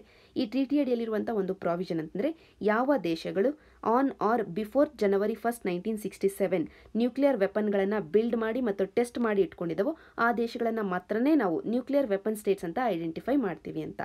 ಆದರೆ ಇಂಡಿಯಾ ಇದನ್ನು ಅಪೋಸ್ ಮಾಡುತ್ತೆ. ಯಾಕೆ ಅಂತಂದರೆ ನೀವು ಇಲ್ಲಿ ಡಿಸ್ಕ್ರಿಮಿನೇಟರಿಯಾಗಿ ಕೆಲವೊಂದು ಸ್ಟೇಟ್ಗಳನ್ನು ಮಾತ್ರನೇ ನ್ಯೂಕ್ಲಿಯರ್ ವೆಪನ್ ಸ್ಟೇಟ್ಸ್ ಅಂತ ಹೇಳ್ತಾ ಇದ್ದೀರಾ. ಫಾರ್ ಎಕ್ಸಾಂಪಲ್ ಚೈನಾ ದೇಶವನ್ನು ನ್ಯೂಕ್ಲಿಯರ್ ವೆಪನ್ ಸ್ಟೇಟ್ ಅಂತ ನೀವು ಐಡೆಂಟಿಫೈ ಮಾಡ್ತೀರಾ. ಆದರೆ ಚೈನಾ ನಮ್ಮ ಎನಿಮಿ ದೇಶ ಆಗಿದೆ. ಚೈನಾದ ಜೊತೆಗೆ ಈಗಾಗಲೇ ನಾವು ಯುದ್ಧವನ್ನು ಅನುಭವಿಸಿದ್ದೀವಿ ಆದ್ದರಿಂದ ಚೈನಾದ ಹತ್ತಿರ ನ್ಯೂಕ್ಲಿಯರ್ ವೆಪನ್ಸ್ಗಳು ಈಗ ಇದಾವೆ ಅಂತಂದರೆ ನಾವು ಚೈನಾದ ಪಕ್ಕದಲ್ಲೇ ಇದ್ಕೊಂಡು ನಮ್ಮ ದೇಶದ ಸೆಕ್ಯೂರಿಟಿನ ಕಾಪಾಡ್ಕೊಳ್ಬೇಕು ಅಂತಂದರೆ ನಮಗೆ ಕೂಡ ನ್ಯೂಕ್ಲಿಯರ್ ವೆಪನ್ಸ್ಗಳು ಬೇಕು. ಆದ್ದರಿಂದ ನಾವು ಈ ಟ್ರೀಟಿಯನ್ನು ಜಾಯಿನ್ ಆಗೋದಿಲ್ಲ. ಈ ಟ್ರೀಟಿ ತಾರತಮ್ಯವನ್ನು ಹೊಂದಿರುವಂಥ ಟ್ರೀಟಿ ಆಗಿದೆ ಅನ್ನುವಂಥ ಮಾತನ್ನು ಇಂಡಿಯಾ ಹೇಳುತ್ತೆ. ಇಂಡಿಯಾ ನ್ಯೂಕ್ಲಿಯರ್ ವೆಪನ್ಸನ್ನು ಬಿಟ್ಕೊಟ್ಟಿಲ್ಲ ಅನ್ನುವ ಕಾರಣಕ್ಕೋಸ್ಕರ ಪಾಕಿಸ್ತಾನ ಕೂಡ ಬಿಟ್ಕೊಟ್ಟಿಲ್ಲ. ಸೊ ಒಟ್ಟಾರೆಯಾಗಿ ಈಗ ಸದ್ಯಕ್ಕೆ ಈ ಟ್ರೀಟಿಯಲ್ಲಿ ಐಡೆಂಟಿಫೈ ಆಗಿರುವಂಥ ಐದು ನ್ಯೂಕ್ಲಿಯರ್ ವೆಪನ್ ಸ್ಟೇಟ್ಸ್ಗಳು ಅಂತಂದರೆ ಪಿ ಫೈ ಕಂಟ್ರೀಸು ಇದು ಮೊದಲನೇ ಪಾಯಿಂಟ್ ನಿಮಗೆ ನೆನಪಿರುತ್ತೆ. ಎರಡನೇ ಪಾಯಿಂಟ್ ಅಂತಂದರೆ ಈ ಟ್ರೀಟಿಯನ್ನು ಅಕ್ಸೆಪ್ಟ್ ಮಾಡ್ಕೊಳ್ಳದೇ ಇರುವಂಥ ನಾಲ್ಕು ನ್ಯೂಕ್ಲಿಯರ್ ವೆಪನ್ ಸ್ಟೇಟ್ಗಳು ಇದ್ದಾವೆ ಅವು ಯಾವ್ಯಾವ ಅಂತಂದರೆ ಇಂಡಿಯಾ ಪಾಕಿಸ್ತಾನ್ ಇಸ್ರೇಲ್ ಮತ್ತು ಇತ್ತೀಚೆಗೆ ತಾನೇ ಸೃಷ್ಟಿಯಾಗಿರುವಂಥ ಸೌತ್ ಸೂಡಾನ್ ಅನ್ನುವಂಥ ದೇಶ. ಈ ನಾಲ್ಕು ದೇಶಗಳು ಈ ಟ್ರೀಟಿಯನ್ನು ಜಾಯಿನ್ ಆಗಿಯೇ ಇಲ್ಲ. ಆದರೆ ನಾರ್ತ್ ಕೊರಿಯಾ ಈ ಟ್ರೀಟಿಯನ್ನು ಜಾಯಿನ್ ಆಗಿತ್ತು, ನಂತರ ಈ ಟ್ರೀಟಿಯಿಂದ ಹೊರಗೆ ಬಂತು. ಆದ್ದರಿಂದ ಈಗ ಈ ಟ್ರೀಟಿಯಿಂದ ಹೊರಗೆ ಇದ್ಕೊಂಡು ತನ್ನ ಹತ್ತಿರ ನ್ಯೂಕ್ಲಿಯರ್ ವೆಪನ್ಸ್ಗಳು ಇದಾವೆ ಅಂತ ಡೈರೆಕ್ಟ್ಲಿ ಎಕ್ಸ್ಪ್ಲಿಸಿಟ್ ಆಗಿ ಹೇಳಿರುವಂಥ ದೇಶಗಳು ಅಂತಂದರೆ ಒಂದು ಇಂಡಿಯಾ, ಎರಡನೇದಾಗಿ ಪಾಕಿಸ್ತಾನ್, ಮೂರನೇದಾಗಿ ನಾರ್ತ್ ಕೊರಿಯಾ. ಆದರೆ ಇಸ್ರೇಲ್ ಕೂಡ ತನ್ನಲ್ಲಿ ನ್ಯೂಕ್ಲಿಯರ್ ವೆಪನ್ಸ್ಗಳನ್ನು ಹೊಂದಿದೆ. ಆದರೆ ಡೆಲಿಬರೇಟ್ಲಿ ನ್ಯೂಕ್ಲಿಯರ್ ವೆಪನ್ಸ್ ಇದಾವೋ ಇಲ್ವೋ ಅನ್ನೋದ್ರ ಬಗ್ಗೆ ಎಕ್ಸ್ಪ್ಲಿಸಿಟ್ ಆಗಿ ಹೇಳ್ತಾ ಇಲ್ಲ. ಸೊ ಈಗ ಈ ಒಂದು ಟ್ರೀಟಿಯಿಂದ ಹೊರಗೆ ಇದ್ದುಕೊಂಡು ನ್ಯೂಕ್ಲಿಯರ್ ವೆಪನ್ಸನ್ನು ಹೊಂದಿರುವಂಥ ದೇಶಗಳಲ್ಲಿ India Pakistan North Korea explicit ಆಗಿ ಹೇಳಿದವೆ. ತಮ್ಮ ಹತ್ತಿರ ನ್ಯೂಕ್ಲಿಯರ್ ವೆಪನ್ಸ್ಗಳು ಇದಾವೆ ಅಂತ ಇಸ್ರೇಲ್ ಎಕ್ಸ್ಪ್ಲಿಸಿಟ್ ಆಗಿ ಹೇಳಿಲ್ಲ. ಈ ಟ್ರೀಟಿಯನ್ನು ಸಹಿ ಮಾಡದೇ ಇರುವಂಥ ದೇಶಗಳು ಯಾವ್ಯಾವು? ಇಂಡಿಯಾ ಪಾಕಿಸ್ತಾನ್ ಇಸ್ರೇಲ್ ಮತ್ತು ಸೌತ್ ಸೂಡನ್ ಈ ಟ್ರೀಟಿಯನ್ನು ಸಹಿ ಮಾಡಿ ಹೊರಗೆ ಬಂದಿರುವಂಥ ದೇಶ ನಾರ್ತ್ ಕೊರಿಯಾ ಇಷ್ಟು ಬೇಸಿಕ್ಸ್ ನಿಮಗೆ ನೆನಪಿರಬೇಕು ಎನ್ ಬಗ್ಗೆ. ನಂತರ ಈ ಆರ್ಟಿಕಲಲ್ಲಿ ಭಾರತ್ ಬಾಂಡ್ ಬಗ್ಗೆ ಮಾತಾಡ್ತಾ ಇದ್ದಾರೆ. ಇದರ ಬಗ್ಗೆ ಈಗಾಗಲೇ ನಾವು ಸುದ್ದಿ ವಿಶ್ಲೇಷಣೆಯಲ್ಲಿ ಡಿಸ್ಕಸ್ ಮಾಡಿದ್ದೀವಿ. ಆದರೂ ಕೂಡ ಮತ್ತೆ ಡಿಸ್ಕಸ್ ಮಾಡೋಣ. ಯಾಕೆ ಅಂತಂದರೆ ವೆರಿ ಇಂಪಾರ್ಟೆಂಟ್ ಟಾಪಿಕ್ ಇದು. ಪ್ರಿಲಿಮ್ಸಲ್ಲಿ ಡೈರೆಕ್ಟ್ ಕ್ವೆಶನ್ ಬರುವಂಥ ಸಾಧ್ಯತೆ ಇದೆ. ಅದಕ್ಕೋಸ್ಕರ. ಇದರ ಬಗ್ಗೆ ಈ ಎಕ್ಸ್ಪ್ಲನೇಷನ್ನ ನಂತರವೂ ಕೂಡ ನಿಮಗೆ ಏನಾದರೂ ಕನ್ಫ್ಯೂಷನ್ ಇದ್ದಿದೆ ಆದರೆ ಕಮೆಂಟ್ ಸೆಕ್ಷನಲ್ಲಿ ಕೇಳಿ ಅದನ್ನು ಕ್ಲಾರಿಫೈ ಮಾಡ್ಕೊಳ್ಳಿ. ವೆರಿ ಇಂಪಾರ್ಟೆಂಟ್ ಟಾಪಿಕ್ ಪ್ರಿಲಿಮ್ಸಲ್ಲಿ ಡೈರೆಕ್ಟ್ ಕ್ವೆಶನ್ ಬರುವಂಥ ಸಾಧ್ಯತೆ ಇದೆ. ಅದಕ್ಕೋಸ್ಕರ. ಇಲ್ಲಿ Bharat bond E T F ಅನ್ನು ನೋಡೋದಕ್ಕಿಂತ ಮುಂಚೆ general term E T F exchange traded fund ಅಂದರೆ ಏನು ಅಂತ ನೋಡಬೇಕು. ಈ ಎಕ್ಸ್ಚೇಂಜ್ ಟ್ರೇಡೆಡ್ ಫಂಡನ್ನು ಒಂದು ಬುಟ್ಟಿಯ ರೂಪದಲ್ಲಿ ನೀವು ಇಮ್ಯಾಜಿನ್ ಮಾಡ್ಕೊಳ್ಳಿ. ಈ ಬುಟ್ಟಿಗೆ ಹಲವಾರು ಕಂಪನಿಗಳು ತಮ್ಮ ಕಡೆಯಿಂದ ಸೆಕ್ಯುರಿಟೀಸನ್ನು, ಶೇರ್ಸ್ ಅಥವಾ ಬಾಂಡ್ಸ್ಗಳನ್ನು ಕಾಂಟ್ರಿಬ್ಯೂಟ್ ಮಾಡ್ತವೆ. ಫಾರ್ ಎಕ್ಸಾಂಪಲ್, ನಾಲ್ಕು ಕಂಪನಿಗಳು ಇದಾವೆ ಅಂತ ಅನ್ಕೊಳ್ಳೋಣ. ಈ ನಾಲ್ಕು ಕಂಪನಿಗಳು ಒಂದಷ್ಟು ತಮ್ಮ ಕಡೆಯಿಂದ ಬಾಂಡ್ಸನ್ನು ಈ ಬುಟ್ಟಿಗೆ ಹಾಕ್ತವೆ. ಈಗ ನಾವು ಈ ಬುಟ್ಟಿಯನ್ನೇ ಸೆಪರೇಟ್ ಬಾಂಡ್ ಆಗಿ ಕನ್ಸಿಡರ್ ಮಾಡಿ, ಈ ಬುಟ್ಟಿಯನ್ನೇ ಡಿವೈಡ್ ಮಾಡ್ತೀವಿ ಯೂನಿಟ್ ಆಗಿ ಈ ಯೂನಿಟ್ ಅನ್ನು ಮಾರಾಟ ಮಾಡ್ತೀವಿ. ಸೊ ಇದರ ಅರ್ಥ ಏನಾಯಿತು? ಈ ಒಂದು ಯೂನಿಟ್ ಅಡಿಯಲ್ಲಿ ಈ ನಾಲ್ಕು ಕಂಪನಿಗಳ ಶೇರ್ಸ್ ಇದ್ದಾವೆ ಎಕ್ಸಾಕ್ಟ್ಲಿ ಒಂದು ಶೇರ್ ಇರಬೇಕು ಅಂತ ಏನಿಲ್ಲ. ಈ ಒಂದು ಯೂನಿಟಲ್ಲಿ ಈ ನಾಲ್ಕು ಕಂಪನಿಗಳ ಒಂದಷ್ಟು ವೇಟೇಜ್ ಅಂತೂ ಇದೆ. ಈಚ್ ಯೂನಿಟಲ್ಲಿ ಈ ನಾಲ್ಕು ಕಂಪನಿಗಳ ರೆಪ್ರೆಸೆಂಟೇಷನ್ ಇದೆ. ಈ ರೀತಿಯಾಗಿರುವಂಥ ಈ ಒಂದು ಫಂಡನ್ನು ನಾವು E T F exchange traded fund ಅಂತ ಕರಿತೀವಿ. ಸಿಂಪಲ್ ಟರ್ಮ್ಸಲ್ಲಿ ನಾಲ್ಕೈದು ಕಂಪನಿಗಳು ಒಟ್ಟಾಗಿ ಸೇರಿಕೊಂಡು ತಮ್ಮ ಬಾಂಡ್ಸ್ ಅಥವಾ ಸೆಕ್ಯುರಿಟೀಸ್ಗಳನ್ನು ಒಂದು ಬುಟ್ಟಿಯಲ್ಲಿ ಹಾಕ್ತಾರೆ. ಆ ಬುಟ್ಟಿಯನ್ನೇ ಸೆಪರೇಟ್ ಒಂದು ಯೂನಿಟ್ ಆಗಿ ಕನ್ಸಿಡರ್ ಮಾಡಿ ಅದನ್ನು ಡಿವೈಡ್ ಮಾಡಿ ಮಾರಾಟ ಮಾಡ್ತಾರೆ. ಸೊ ಮಾರಾಟ ಮಾಡ್ತಿರುವಂಥ ಆ ಒಂದು ಬಾಂಡ್ ಅಥವಾ ಸೆಕ್ಯುರಿಟಿ ಅಡಿಯಲ್ಲಿ ಎಲ್ಲ ಕಂಪನಿಗಳ ಶೇರ್ಸ್ ಇರ್ತವೆ ಅಂತ ನಿಮಗೆ ಅರ್ಥ ಆಯಿತು. ಈಗ ಈ ಬುಟ್ಟಿಯನ್ನೇ ನಾವು ಎಕ್ಸ್ಚೇಂಜ್ ಟ್ರೇಡೆಡ್ ಫಂಡ್ ಅಂತ ಕರಿತೀವಿ. ಇದು ಬಾಂಡ್ಸ್ ಬೇಸ್ಡ್ ಆದರೂ ಆಗಿರಬಹುದು, ಶೇರ್ಸ್ ಬೇಸ್ಡ್ ಆದರೂ ಆಗಿರಬಹುದು. ಈಗ ಬಾಂಡ್ಸ್ ಬೇಸ್ಡ್ ಆಗಿ ನಾವು Bharat bond E T F ಒಂದನ್ನು ತಗೊಂಡು ಬರ್ತಾ ಇದ್ದೀವಿ ಈ ಬುಟ್ಟಿಯ ಕೆಳಗಡೆ ಹಲವಾರು ಕಂಪನಿಗಳು ಇರಬೇಕು. ಆ ಕಂಪನಿಗಳು ಯಾವುವು ಅಂತಂದರೆ ನಮ್ಮ ಪಿ ಎಸ್ ಯುಗಳು ಸಾರ್ವಜನಿಕ ಉದ್ದಿಮೆಗಳು. ಈ ಸಾರ್ವಜನಿಕ ಉದ್ದಿಮೆಗಳು ಸೆಪರೇಟ್ ಆಗಿ ಸ್ಟಾಕ್ ಮಾರ್ಕೆಟಿಗೆ ಹೋಗಿ ತಮ್ಮ ಬಾಂಡ್ಸ್ಗಳನ್ನು ಮಾರಾಟ ಮಾಡಿದೆ ಆದರೆ ಖರೀದಿದಾರರು ಕಡಿಮೆ. ಯಾಕೆಂದರೆ ಈ ಪಿ ಎಸ್ ಯುಗಳಲ್ಲಿ ಪ್ರಾಫಿಟ್ ಕಡಿಮೆ ಅದಕ್ಕೋಸ್ಕರ. ಆದ್ದರಿಂದನೇ ಈಗ ತಾವೆಲ್ಲರೂ ಒಟ್ಟುಗೂಡಿ ಒಂದು ಎಕ್ಸ್ಚೇಂಜ್ ಟ್ರೇಡೆಡ್ ಫಂಡನ್ನು ತಗೊಂಡು ಬಂದಿದ್ದಾರೆ. ಆ ಎಕ್ಸ್ಚೇಂಜ್ ಟ್ರೇಡೆಡ್ ಫಂಡಿನ ಆಧಾರದ ಮೇಲೆ ಒಂದು ಬಾಂಡನ್ನು ರಿಲೀಸ್ ಮಾಡ್ತಾ ಇದ್ದಾರೆ. ಅದನ್ನೇ Bharat bond E T F ಅಂತ ಕರಿತಾ ಇದ್ದಾರೆ. ಇದು ಗವರ್ನಮೆಂಟ್ ಆಫ್ ಇಂಡಿಯಾ ರಿಲೀಸ್ ಮಾಡಿದಂಥ ಮೊಟ್ಟ ಮೊದಲನೆಯ corporate E T F based bond ಆಗಿದೆ. ಆದ್ದರಿಂದನೇ ಇದು ವೆರಿ ಇಂಪಾರ್ಟೆಂಟ್ ಟಾಪಿಕ್ ಆಗುತ್ತೆ. ಸೊ ಮೊದಲನೇ ಪಾಯಿಂಟು ಭಾರತ್ ಬಾಂಡ್ ಒಂದು E T F based bond ಆಗಿದೆ. ಗವರ್ನಮೆಂಟ್ ಆಫ್ ಇಂಡಿಯಾ ರಿಲೀಸ್ ಮಾಡಿರುವಂಥ ಮೊಟ್ಟ ಮೊದಲನೆಯ corporate E T F based bond ಆಗಿದೆ. ನಂತರ ಎರಡನೆಯದಾಗಿ ಭಾರತ್ ಬಾಂಡಿನ ಸ್ಪೆಷಾಲಿಟಿ ಅಂತಂದ್ರೆ ಇದು ಡಿಫೈನ್ಡ್ ಮೆಚುರಿಟಿ ಡೇಟ್ ಅನ್ನ ಹೊಂದಿದೆ. ಒಂದು ಮೂರು ವರ್ಷಕ್ಕೆ, ಇನ್ನೊಂದು ಹತ್ತು ವರ್ಷಕ್ಕೆ, ಈಗ ಸದ್ಯಕ್ಕೆ ಎರಡು ಟೈಮ್ ಲೈನ್ ಅಲ್ಲಿ ನಾವು ತಗೊಂಡು ಬಂದಿದ್ದೀವಿ ಅದೇ ಇತರ ಇ ಟಿ ಎಫ್ಗಳಲ್ಲಿ ಈ ರೀತಿಯಾಗಿ ಡಿಫೈನ್ಡ್ ಮೆಚುರಿಟಿ ಡೇಟ್ ಇರೋದಿಲ್ಲ. ಮೆಚುರಿಟಿ ಡೇಟ್ ಇರೋದ್ರಿಂದ ಈ ಡೇಟ್ ಎಕ್ಸ್ಪೈರ್ ಆದ ನಂತರ ಇನ್ವೆಸ್ಟ್ ಮಾಡಿರುವಂಥ ಇನ್ವೆಸ್ಟರ್ಗೆ ರಿಟರ್ನ್ ವಾಪಸ್ಸು ಬರುತ್ತೆ. ಆದ್ದರಿಂದನೇ ಇಲ್ಲಿ ನಮಗೆ ಸರ್ಟೈನಿಟಿ ಜಾಸ್ತಿ ಇನ್ವೆಸ್ಟ್ಮೆಂಟ್ ಜಾಸ್ತಿ ಹರಿದು ಬರುವಂಥ ಸಾಧ್ಯತೆ ಇದೆ. ಇದು ಎರಡನೇ ಪಾಯಿಂಟ್ ಮೂರನೇ ಪಾಯಿಂಟ್ ಅಂತಂದರೆ ಈ ಬಾಂಡ್ಗಳು ಈಗ ಸದ್ಯಕ್ಕೆ ಟ್ರಿಪಲ್ ಎ ರೇಟೆಡ್ ಬಾಂಡ್ಗಳು ಆಗಿದ್ದಾವೆ ಇದು ಕೂಡ ಎಕ್ಸಾಮಿನೇಷನ್ ಪರ್ಸ್ಪೆಕ್ಟಿವ್ ಅಲ್ಲಿ ಇಂಪಾರ್ಟೆಂಟ್ ಪಾಯಿಂಟ್ ಈ ಮೂರು ಪಾಯಿಂಟ್ಗಳನ್ನು ನೀವು ನೆನ್ಪಿಟ್ಕೊಂಡ್ರೆ ಸಾಕಾಗುತ್ತೆ. ಭಾರತ್ ಬಾಂಡ್ ವಿಷಯವಾಗಿ ಪ್ರಿಲಿಮ್ಸ್ ಅಲ್ಲಿ ಯಾವ ಕ್ವೆಶನ್ ಕೇಳಿದ್ರು ನಿಮಗೆ ಸುಲಭವಾಗಿ ಉತ್ತರ ಗೊತ್ತಾಗುತ್ತೆ. ನಂತರ ಈ ಆರ್ಟಿಕಲ್ ಅಲ್ಲಿ ಹೇಳ್ತಾ ಇದ್ದಾರೆ, ಡೆಲ್ಲಿಯಲ್ಲಿ ಒಂದು ರೆಸಿಡೆನ್ಷಿಯಲ್ ಬಿಲ್ಡಿಂಗ್ ಅಲ್ಲಿ ಮ್ಯಾನುಫ್ಯಾಕ್ಚರಿಂಗ್ ಆಕ್ಟಿವಿಟೀಸ್ ಅನ್ನ ನಡೆಸ್ತಾ ಇದ್ರು. ಈ ರೀತಿಯಾಗಿ ರೆಸಿಡೆನ್ಷಿಯಲ್ ಕಟ್ಟಡವನ್ನ ಇಂಡಸ್ಟ್ರಿಯಲ್ ಪರ್ಪಸ್ಸಿಗೋಸ್ಕರ ಬಳಕೆ ಮಾಡ್ಕೊಳ್ಳೋದು ಇಲ್ಲೀಗಲ್ ಯಾಕೆ ಅಂತಂದ್ರೆ ಯಾವುದೇ ಒಂದು ಕಟ್ಟಡವನ್ನ ಮ್ಯಾನುಫ್ಯಾಕ್ಚರಿಂಗ್ ಅಥವಾ ಇಂಡಸ್ಟ್ರಿಯಲ್ ಪರ್ಪಸ್ಸಿಗೋಸ್ಕರ ಬಳಕೆ ಮಾಡ್ಕೊಳ್ಬೇಕು ಅಂತಂದ್ರೆ ಗವರ್ನಮೆಂಟ್ ಕಡೆಯಿಂದ ಲೈಸೆನ್ಸ್ ಅನ್ನ ತಗೊಳ್ಬೇಕು. ನೋ ಆಬ್ಜೆಕ್ಷನ್ ಸರ್ಟಿಫಿಕೇಟ್ ಅನ್ನ ತಗೊಳ್ಬೇಕು. ಜೊತೆಗೆ ಆ ಕಟ್ಟಡದಲ್ಲಿ ಕೆಲವೊಂದು ಸೇಫ್ಟಿ ಅಂಡ್ ಸೆಕ್ಯೂರಿಟಿ ಮೆಜರ್ಸ್ ಗಳನ್ನ ಇಂಪ್ಲಿಮೆಂಟ್ ಮಾಡಬೇಕು. ನಂತರವೇ ಈ ಕಟ್ಟಡವನ್ನ ಬಳಕೆ ಮಾಡಲಿಕ್ಕೆ ಆಗುತ್ತೆ ಮ್ಯಾನುಫ್ಯಾಕ್ಚರಿಂಗ್ಗೋಸ್ಕರ. ಆದರೆ ಇಲ್ಲಿ ಇದ್ಯಾವುದನ್ನೂ ಮಾಡದೆ ಒಂದು ರೆಸಿಡೆನ್ಷಿಯಲ್ ಕಟ್ಟಡವನ್ನು ಮ್ಯಾನುಫ್ಯಾಕ್ಚರಿಂಗ್ಗೋಸ್ಕರ ಬಳಕೆ ಮಾಡಿಕೊಂಡ ಕಾರಣದಿಂದಾಗಿಯೇ ಇವತ್ತು ಅಲ್ಲಿ ಫೈರ್ ಇನ್ಸಿಡೆಂಟ್ ಒಂದು ಆಗಿದೆ. ಅದರಿಂದ ನಲವತ್ತ್ಮೂರು ಜನ ಸಾವನ್ನಪ್ಪಿದ್ದಾರೆ. ಹದಿನಾರು ಜನ ಇಂಜೂರ್ಡ್ ಆಗಿದ್ದಾರೆ. ಇಂಥ ಒಂದು ದೊಡ್ಡ ಫೈರ್ ಇನ್ಸಿಡೆಂಟ್ ಆಗಿರೋದು ನಮ್ಮ ನ್ಯಾಷನಲ್ ಕ್ಯಾಪಿಟಲ್ ಆದಂಥ ಡೆಲ್ಲಿಯಲ್ಲಿ. ಆದ್ದರಿಂದನೇ ಇದು ನಮಗೆ ಎಕ್ಸಾಮ್ ಪರ್ಸ್ಪೆಕ್ಟಿವ್ ಅಲ್ಲಿ ಇಂಪಾರ್ಟೆಂಟ್ ಆಗುತ್ತೆ. ಡಿಸಾಸ್ಟರ್ ಮ್ಯಾನೇಜ್ಮೆಂಟ್ ಅಡಿಯಲ್ಲಿ. ಇಂಡಸ್ಟ್ರಿಯಲ್ ಡಿಸಾಸ್ಟರ್ಸ್ ಅಂತ ಒಂದು ಟಾಪಿಕ್ ಬರುತ್ತೆ ಡಿಸಾಸ್ಟರ್ ಮ್ಯಾನೇಜ್ಮೆಂಟ್ ಅಡಿಯಲ್ಲಿ. ಅದರಲ್ಲಿ ನಮಗೆ ಇದು ಒಂದು ಇಂಪಾರ್ಟೆಂಟ್ ಟಾಪಿಕ್ ಆಗುತ್ತೆ. ಈ ಇನ್ಸಿಡೆಂಟ್ ಬಗ್ಗೆ ಸ್ವಲ್ಪ ಸ್ಪೆಸಿಫಿಕ್ ಡೀಟೇಲ್ಸ್ ಹೊರಗೆ ಬಂದ ನಂತರ ಇನ್ ಡೀಟೈಲ್ಡ್ ಆಗಿ ನಾವು ಈ ಇಂಡಸ್ಟ್ರಿಯಲ್ ಡಿಸಾಸ್ಟರ್ಸ್ ಬಗ್ಗೆ ಮೇನ್ಸ್ ಪರ್ಸ್ಪೆಕ್ಟಿವ್ ಅಲ್ಲಿ ಅನಲೈಸ್ ಮಾಡೋಣ. ಈಗ ಸದ್ಯಕ್ಕೆ ಈ ಇನ್ಸಿಡೆಂಟ್ ಅನ್ನ ಒಂದು ಕಡೆ ಎಕ್ಸಾಂಪಲ್ ರೂಪದಲ್ಲಿ ಕೋಟ್ ಮಾಡ್ಕೊಂಡಿರಿ. ನಂತರ ಎಡಿಟೋರಿಯಲ್ಗಳು ಬರ್ತವೆ. ಈ ಇನ್ಸಿಡೆಂಟ್ ಬಗ್ಗೆ ಸಾಕಷ್ಟು ಡೀಟೇಲ್ಸ್ಗಳು ಹೊರಗೆ ಬರ್ತವೆ. ಆಗ ನಾವು ಇನ್ ಡೀಟೈಲ್ಡ್ ಆಗಿ ಅನಲೈಸ್ ಮಾಡೋಣ. ನಂತರ ನಾವು ಎಡಿಟೋರಿಯಲ್ಸ್ಗೆ ಶಿಫ್ಟ್ ಆಗೋದ್ರೆ ಇವತ್ತಿನ ಮೊದಲನೇ ಎಡಿಟೋರಿಯಲ್ ಅಲ್ಲಿ ತಮಿಳುನಾಡು ಗವರ್ನಮೆಂಟ್ ತನ್ನ ಅರ್ಬನ್ ಲೋಕಲ್ ಬಾಡೀಸ್ಗಳಿಗೆ ಎಲೆಕ್ಷನ್ ಅನ್ನ ಡಿಕ್ಲೇರ್ ಮಾಡಿದೆ. ಅದು ಆಫ್ಟರ್ ತ್ರೀ ಇಯರ್ಸ್. ಅಂದ್ರೆ ಮೂರು ವರ್ಷಗಳ ಹಿಂದೆಯೇ ಈ ಎಲೆಕ್ಷನ್ ನಡಿಬೇಕಾಗಿತ್ತು. ಆದರೆ ಈಗ ಗವರ್ನಮೆಂಟ್ ಮುಂದೆ ಬಂದಿದೆ. ಆದ್ದರಿಂದನೇ ಈ ಆರ್ಟಿಕಲ್ ಅನ್ನ ಬರ್ತಿದ್ದಾರೆ ನಮಗೆ ತಮಿಳುನಾಡು ಸ್ಪೆಸಿಫಿಕ್ ಆಗಿ ಅನಾಲಿಸಿಸ್ ಏನು ಬೇಡ. ಆದರೆ in general panchayat raj institutions ಮತ್ತು ಅರ್ಬನ್ ಲೋಕಲ್ ಬಾಡೀಸ್ ಬಗ್ಗೆ ನಮಗೆ ತಿಳಿದಿರಬೇಕು. ಪ್ರಿಲಿಮ್ಸ್ ಮತ್ತು ಮೇನ್ಸ್ ಪರ್ಸ್ಪೆಕ್ಟಿವ್ ಎರಡೂ ಪರ್ಸ್ಪೆಕ್ಟಿವ್ ಅಲ್ಲಿ ವೆರಿ ಇಂಪಾರ್ಟೆಂಟ್ ಟಾಪಿಕ್ ಇದು. ನಾವು ಸೆವೆಂಟಿ ತರ್ಡ್ ಮತ್ತು ಸೆವೆಂಟಿ ಫೋರ್ತ್ ಕಾನ್ಸ್ಟಿಟ್ಯೂಷನಲ್ ಅಮೆಂಡ್ಮೆಂಟ್ ಮುಖಾಂತರವಾಗಿ ಈ ಲೋಕಲ್ ಬಾಡೀಸ್ಗಳನ್ನು ನಮ್ಮ ಫೆಡರಲಿಸಮನ್ನು ತರ್ಡ್ ಟೈರ್ ಆಗಿ ಎಸ್ಟಾಬ್ಲಿಷ್ ಮಾಡ್ತೀವಿ. ಕಾನ್ಸ್ಟಿಟ್ಯೂಷನಲಿ ಎಸ್ಟಾಬ್ಲಿಷ್ ಮಾಡ್ತೀವಿ. ಅಲ್ಲಿಯವರೆಗೂ ಕೇವಲ ಎರಡು ಟೈರ್ಗಳು ಮಾತ್ರನೇ ಇದ್ವು ನಮ್ಮ ಫೆಡರಲಿಸಮ್ ಅಲ್ಲಿ ಒಂದು ಸೆಂಟರು, ಇನ್ನೊಂದು ಸ್ಟೇಟು. ಈ ಎರಡು ಅಮೆಂಡ್ಮೆಂಟ್ಗಳ ಮುಖಾಂತರವಾಗಿ ಥರ್ಡ್ ಸ್ಟೇಟ್ ಕೂಡ ಬರುತ್ತೆ ಲೋಕಲ್ ಬಾಡೀಸ್ ಅಂತ.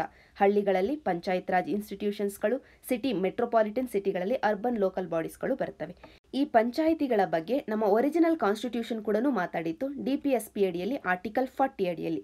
D P S P directive principles of state policy ಅಥವಾ ಪಾರ್ಟ್ ಫೋರ್ ಅಂತ ಏನಿದೆ, ಇದು ನಮಗೆ ಗೊತ್ತು ನಾನ್ ಜಸ್ಟಿಸಿಯಬಲ್. ಅಂದರೆ ಸ್ಟೇಟ್ ಇದನ್ನು ಇಂಪ್ಲಿಮೆಂಟ್ ಮಾಡಲಿಲ್ಲ ಅಂತಂದರೆ ನಾವು ಕೋರ್ಟಿಗೆ ಹೋಗಲಿಕ್ಕೆ ಆಗೋದಿಲ್ಲ. ಕೋರ್ಟ್ ಇದನ್ನು ಎನ್ಫೋರ್ಸ್ ಮಾಡಲಿಕ್ಕೆ ಆಗೋದಿಲ್ಲ.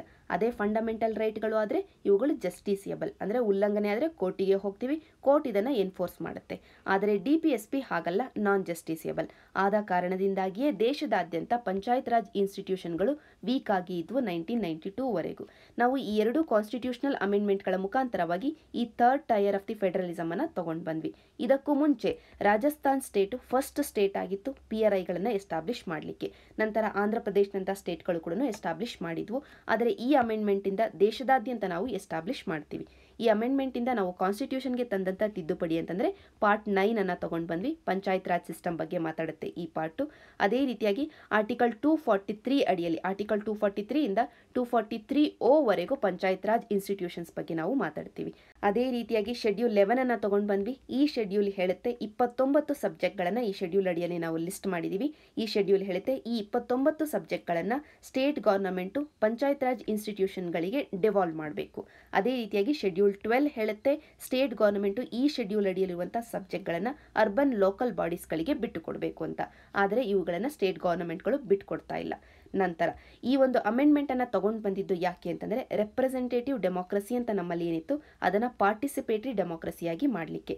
ಅಂದರೆ ಸಿಂಪಲ್ ಟರ್ಮ್ಸಲ್ಲಿ ನಮ್ಮಲ್ಲಿ ಇರುವುದು ಡೆಮೋಕ್ರಸಿ ಪ್ರಜಾಪ್ರಭುತ್ವ, ಅಂದರೆ ಪ್ರಜೆಗಳೇ ಪ್ರಭುಗಳು. ಆದರೆ ನಮ್ಮನ್ನು ನಾವು ರೂಲ್ ಮಾಡ್ಕೊಳ್ಳೋದಿಲ್ಲ. ಎಂ ಪಿ ಮತ್ತು ಎಂ ಎಲ್ ಎಗಳನ್ನ ಚುನಾವಣೆಯ ಮುಖಾಂತರವಾಗಿ ಆಯ್ಕೆ ಮಾಡಿ ಕಳಿಸ್ತೀವಿ. ಅಂದರೆ ಅವರು ನಮ್ಮ ಪ್ರತಿನಿಧಿಗಳು ರೆಪ್ರೆಸೆಂಟೇಟಿವ್ಸು ಅವರು ನಮ್ಮನ್ನು ರೂಲ್ ಮಾಡ್ತಾರೆ. ಅಂತಂದರೆ ಶಾಸನಗಳನ್ನು ಮಾಡ್ತಾರೆ, ಅವುಗಳನ್ನು ಇಂಪ್ಲಿಮೆಂಟ್ ಮಾಡ್ತಾರೆ. ಯಾರಾದರೂ ವೈಲೇಟ್ ಮಾಡಿದ್ರೆ ಕೋರ್ಟಿಗೆ ಕರ್ಕೊಂಡು ಹೋಗ್ತಾರೆ. ಈ ರೀತಿಯಾಗಿ ಅವರು ನಮ್ಮನ್ನು ರೂಲ್ ಮಾಡ್ತಾರೆ. ಅಂದರೆ ರೆಪ್ರೆಸೆಂಟೇಟಿವ್ಸ್ಗಳ ಮುಖಾಂತರವಾಗಿ ನಾವು ಡೆಮೋಕ್ರಸಿಯನ್ನು ಅಚೀವ್ ಮಾಡ್ತಾ ಇದ್ದೀವಿ. ಇದನ್ನು ನಾವು ರೆಪ್ರೆಸೆಂಟೇಟಿವ್ ಡೆಮೋಕ್ರಸಿ ಅಂತ ಕರಿತೀವಿ. ಅದೇ ಪಂಚಾಯತ್ ರಾಜ್ ಇನ್ಸ್ಟಿಟ್ಯೂಷನ್ಸ್ಗಳಲ್ಲಿ ಗ್ರಾಮ ಸಭೆ ಇರುತ್ತೆ. ಆ ಗ್ರಾಮ ಸಭೆಯಲ್ಲಿ ಎಲ್ಲ ವೋಟರ್ಸು ಬಂದು ಕುಳಿತುಕೊಳ್ತಾರೆ, ತಾವೇ ನಿರ್ಧಾರವನ್ನು ತಗೊಳ್ತಾರೆ. ತಮ್ಮ ವಿಲೇಜ್ಗೆ ಬೇಕಾಗಿರುವಂಥ ಶಾಸನಗಳನ್ನು ತಾವೇ ಮಾಡ್ಕೊಳ್ತಾರೆ. ಆದ್ದರಿಂದನೇ ಇದು ಪಾರ್ಟಿಸಿಪೇಟರಿ ಡೆಮೋಕ್ರಸಿ. ಇದನ್ನು ಡೈರೆಕ್ಟ್ ಡೆಮೋಕ್ರಸಿ ಅಂತ ಕೂಡ ಹೇಳಬಹುದು. ಅದೇ ಎಂ ಪಿ ಎಂ ಎಲ್ ಎಗಳ ವಿಷಯವಾಗಿ ಇಂಡೈರೆಕ್ಟ್ ಡೆಮೋಕ್ರಸಿ ಇದೆ. ಜೊತೆಗೆ ನಾವು ಈ ಪಂಚಾಯತ್ ರಾಜ್ ಇನ್ಸ್ಟಿಟ್ಯೂಷನ್ಸ್ಗಳು ಮತ್ತು ಅರ್ಬನ್ ಲೋಕಲ್ ಬಾಡೀಸ್ಗಳ ಮುಖಾಂತರವಾಗಿ ಡೆಮೋಕ್ರೆಟಿಕ್ ಡಿಸೆಂಟ್ರಲೈಸೇಷನ್ ಮಾಡ್ತಾ ಇದ್ದೀವಿ. ಈ ಪದ ವೆರಿ ಇಂಪಾರ್ಟೆಂಟ್ ಪ್ರಿಲಿಮ್ಸ್ ಅಲ್ಲಿ ಈಗಾಗಲೇ ಕೇಳಿಯಾಗಿದೆ. ಈ ಸೆವೆಂಟಿ ತರ್ಡ್ ಮತ್ತು ಸೆವೆಂಟಿ ಫೋರ್ತ್ ಕಾನ್ಸ್ಟಿಟ್ಯೂಷನಲ್ ಅಮೆಂಡ್ಮೆಂಟ್ ಮುಖಾಂತರವಾಗಿ ಯಾವ ಆಬ್ಜೆಕ್ಟಿವ್ ಅನ್ನು ಅಚೀವ್ ಮಾಡಲಿಕ್ಕೆ ನಾವು ಪ್ರಯತ್ನಿಸ್ತಿದ್ದೀವಿ ಅಂತ. ಯಾವ ಆಬ್ಜೆಕ್ಟಿವ್ ಅಂತಂದ್ರೆ ಡೆಮೋಕ್ರೆಟಿಕ್ ಡಿಸೆಂಟ್ರಲೈಸೇಷನ್ ನಂತರ ಈ ಸೆವೆಂಟಿ ತರ್ಡ್ ಕಾನ್ಸ್ಟಿಟ್ಯೂಷನಲ್ ಅಮೆಂಡ್ಮೆಂಟ್ ಅನ್ನೇ ನೋಡೋದಾದ್ರೆ ಅದರ ಅಡಿಯಲ್ಲಿ ಗ್ರಾಮ ಸಭೆಯ ಬಗ್ಗೆ ಮಾತಾಡ್ತೀವಿ. ಗ್ರಾಮ ಸಭೆ ಅಂತಂದ್ರೆ ಆ ವಿಲೇಜ್ ಅಲ್ಲಿರುವಂತ ಎಲ್ಲ ವೋಟರ್ಸ್ ಅನ್ನ ಒಳಗೊಂಡಿರುವಂತ ಒಂದು ಬಾಡಿ ಆಗಿದೆ. ಈ ಬಾಡಿ ಎಲ್ಲ ನಿರ್ಧಾರವನ್ನ ತಾನೇ ತಗೊಳುತ್ತೆ ಮತ್ತು ಅಲ್ಲಿರುವಂತ ಪಂಚಾಯತ್ ಹೆಡ್ಗಳನ್ನ ಅಕೌಂಟಬಲ್ ಆಗಿ ಹೋಲ್ಡ್ ಮಾಡ್ಕೊಳ್ಳುತ್ತೆ ಅದೇ ರೀತಿಯಾಗಿ ಸಿಟಿಗಳಲ್ಲಿ ವಾರ್ಡ್ ಕಮಿಟಿಗಳನ್ನ ಫಾರ್ಮ್ ಮಾಡಲಾಗಿದೆ. ಇಲ್ಲಿ ವಾರ್ಡ್ ಕಮಿಟಿಗಳನ್ನು ಫಾರ್ಮ್ ಮಾಡೋದು ಮತ್ತು ಗ್ರಾಮ ಸಭೆಗಳನ್ನು ಫಾರ್ಮ್ ಮಾಡೋದು ಕಂಪಲ್ಸರಿ ಪ್ರಾವಿಷನ್ ಸ್ಟೇಟ್ ಗೌರ್ಮೆಂಟು ಅದನ್ನು ಮಾಡಲೇಬೇಕು. ಆದರೆ ಈ ವಾರ್ಡ್ ಕಮಿಟಿ ಆಗಿರಬಹುದು ಅಥವಾ ಗ್ರಾಮ ಸಭೆ ಆಗಿರಬಹುದು, ಇವುಗಳ ಫಂಕ್ಷನ್ಸ್ ಅನ್ನ ಡಿಸೈಡ್ ಮಾಡೋದು ಸ್ಟೇಟ್ ಲೆಜಿಸ್ಲೇಚರ್ ಅಂದರೆ ಸ್ಟೇಟ್ ಲೆಜಿಸ್ಲೇಚರ್ಗೆ ಇಲ್ಲಿ ಫ್ಲೆಕ್ಸಿಬಿಲಿಟಿ ಇದೆ. ನಂತರ ಎಲೆಕ್ಷನ್ಸ್ ವಿಷಯಕ್ಕೆ ಬಂದಿದ್ದರೆ ಎವ್ರಿ ಫೈವ್ ಇಯರ್ಸ್ಗೆ ಒಂದು ಬಾರಿ ಎಲೆಕ್ಷನ್ಸ್ ಅನ್ನು ಕಂಡಕ್ಟ್ ಮಾಡಬೇಕು ಅರ್ಬನ್ ಲೋಕಲ್ ಬಾಡೀಸ್ಗೆ ಮತ್ತು ಪಿ ಆರ್ ಐಗಳಿಗೆ ಇದು ಕಂಪಲ್ಸರಿ ಪ್ರಾವಿಷನ್ ನಂತರ ಮೆಂಬರ್ಸು ಈಗ ಪಿ ಆರ್ ಐಗೆ ಬರೋಣ. ಪಿ ಆರ್ ಅಲ್ಲಿರುವಂತಹ ಮೆಂಬರ್ಸ್ಗಳು ಡೈರೆಕ್ಟ್ಲಿ ಎಲೆಕ್ಟ್ ಆಗಿರಬೇಕು. ಹಾಗಂತ ಸಂವಿಧಾನದಲ್ಲೇ ಮೆನ್ಷನ್ ಆಗಿದೆ.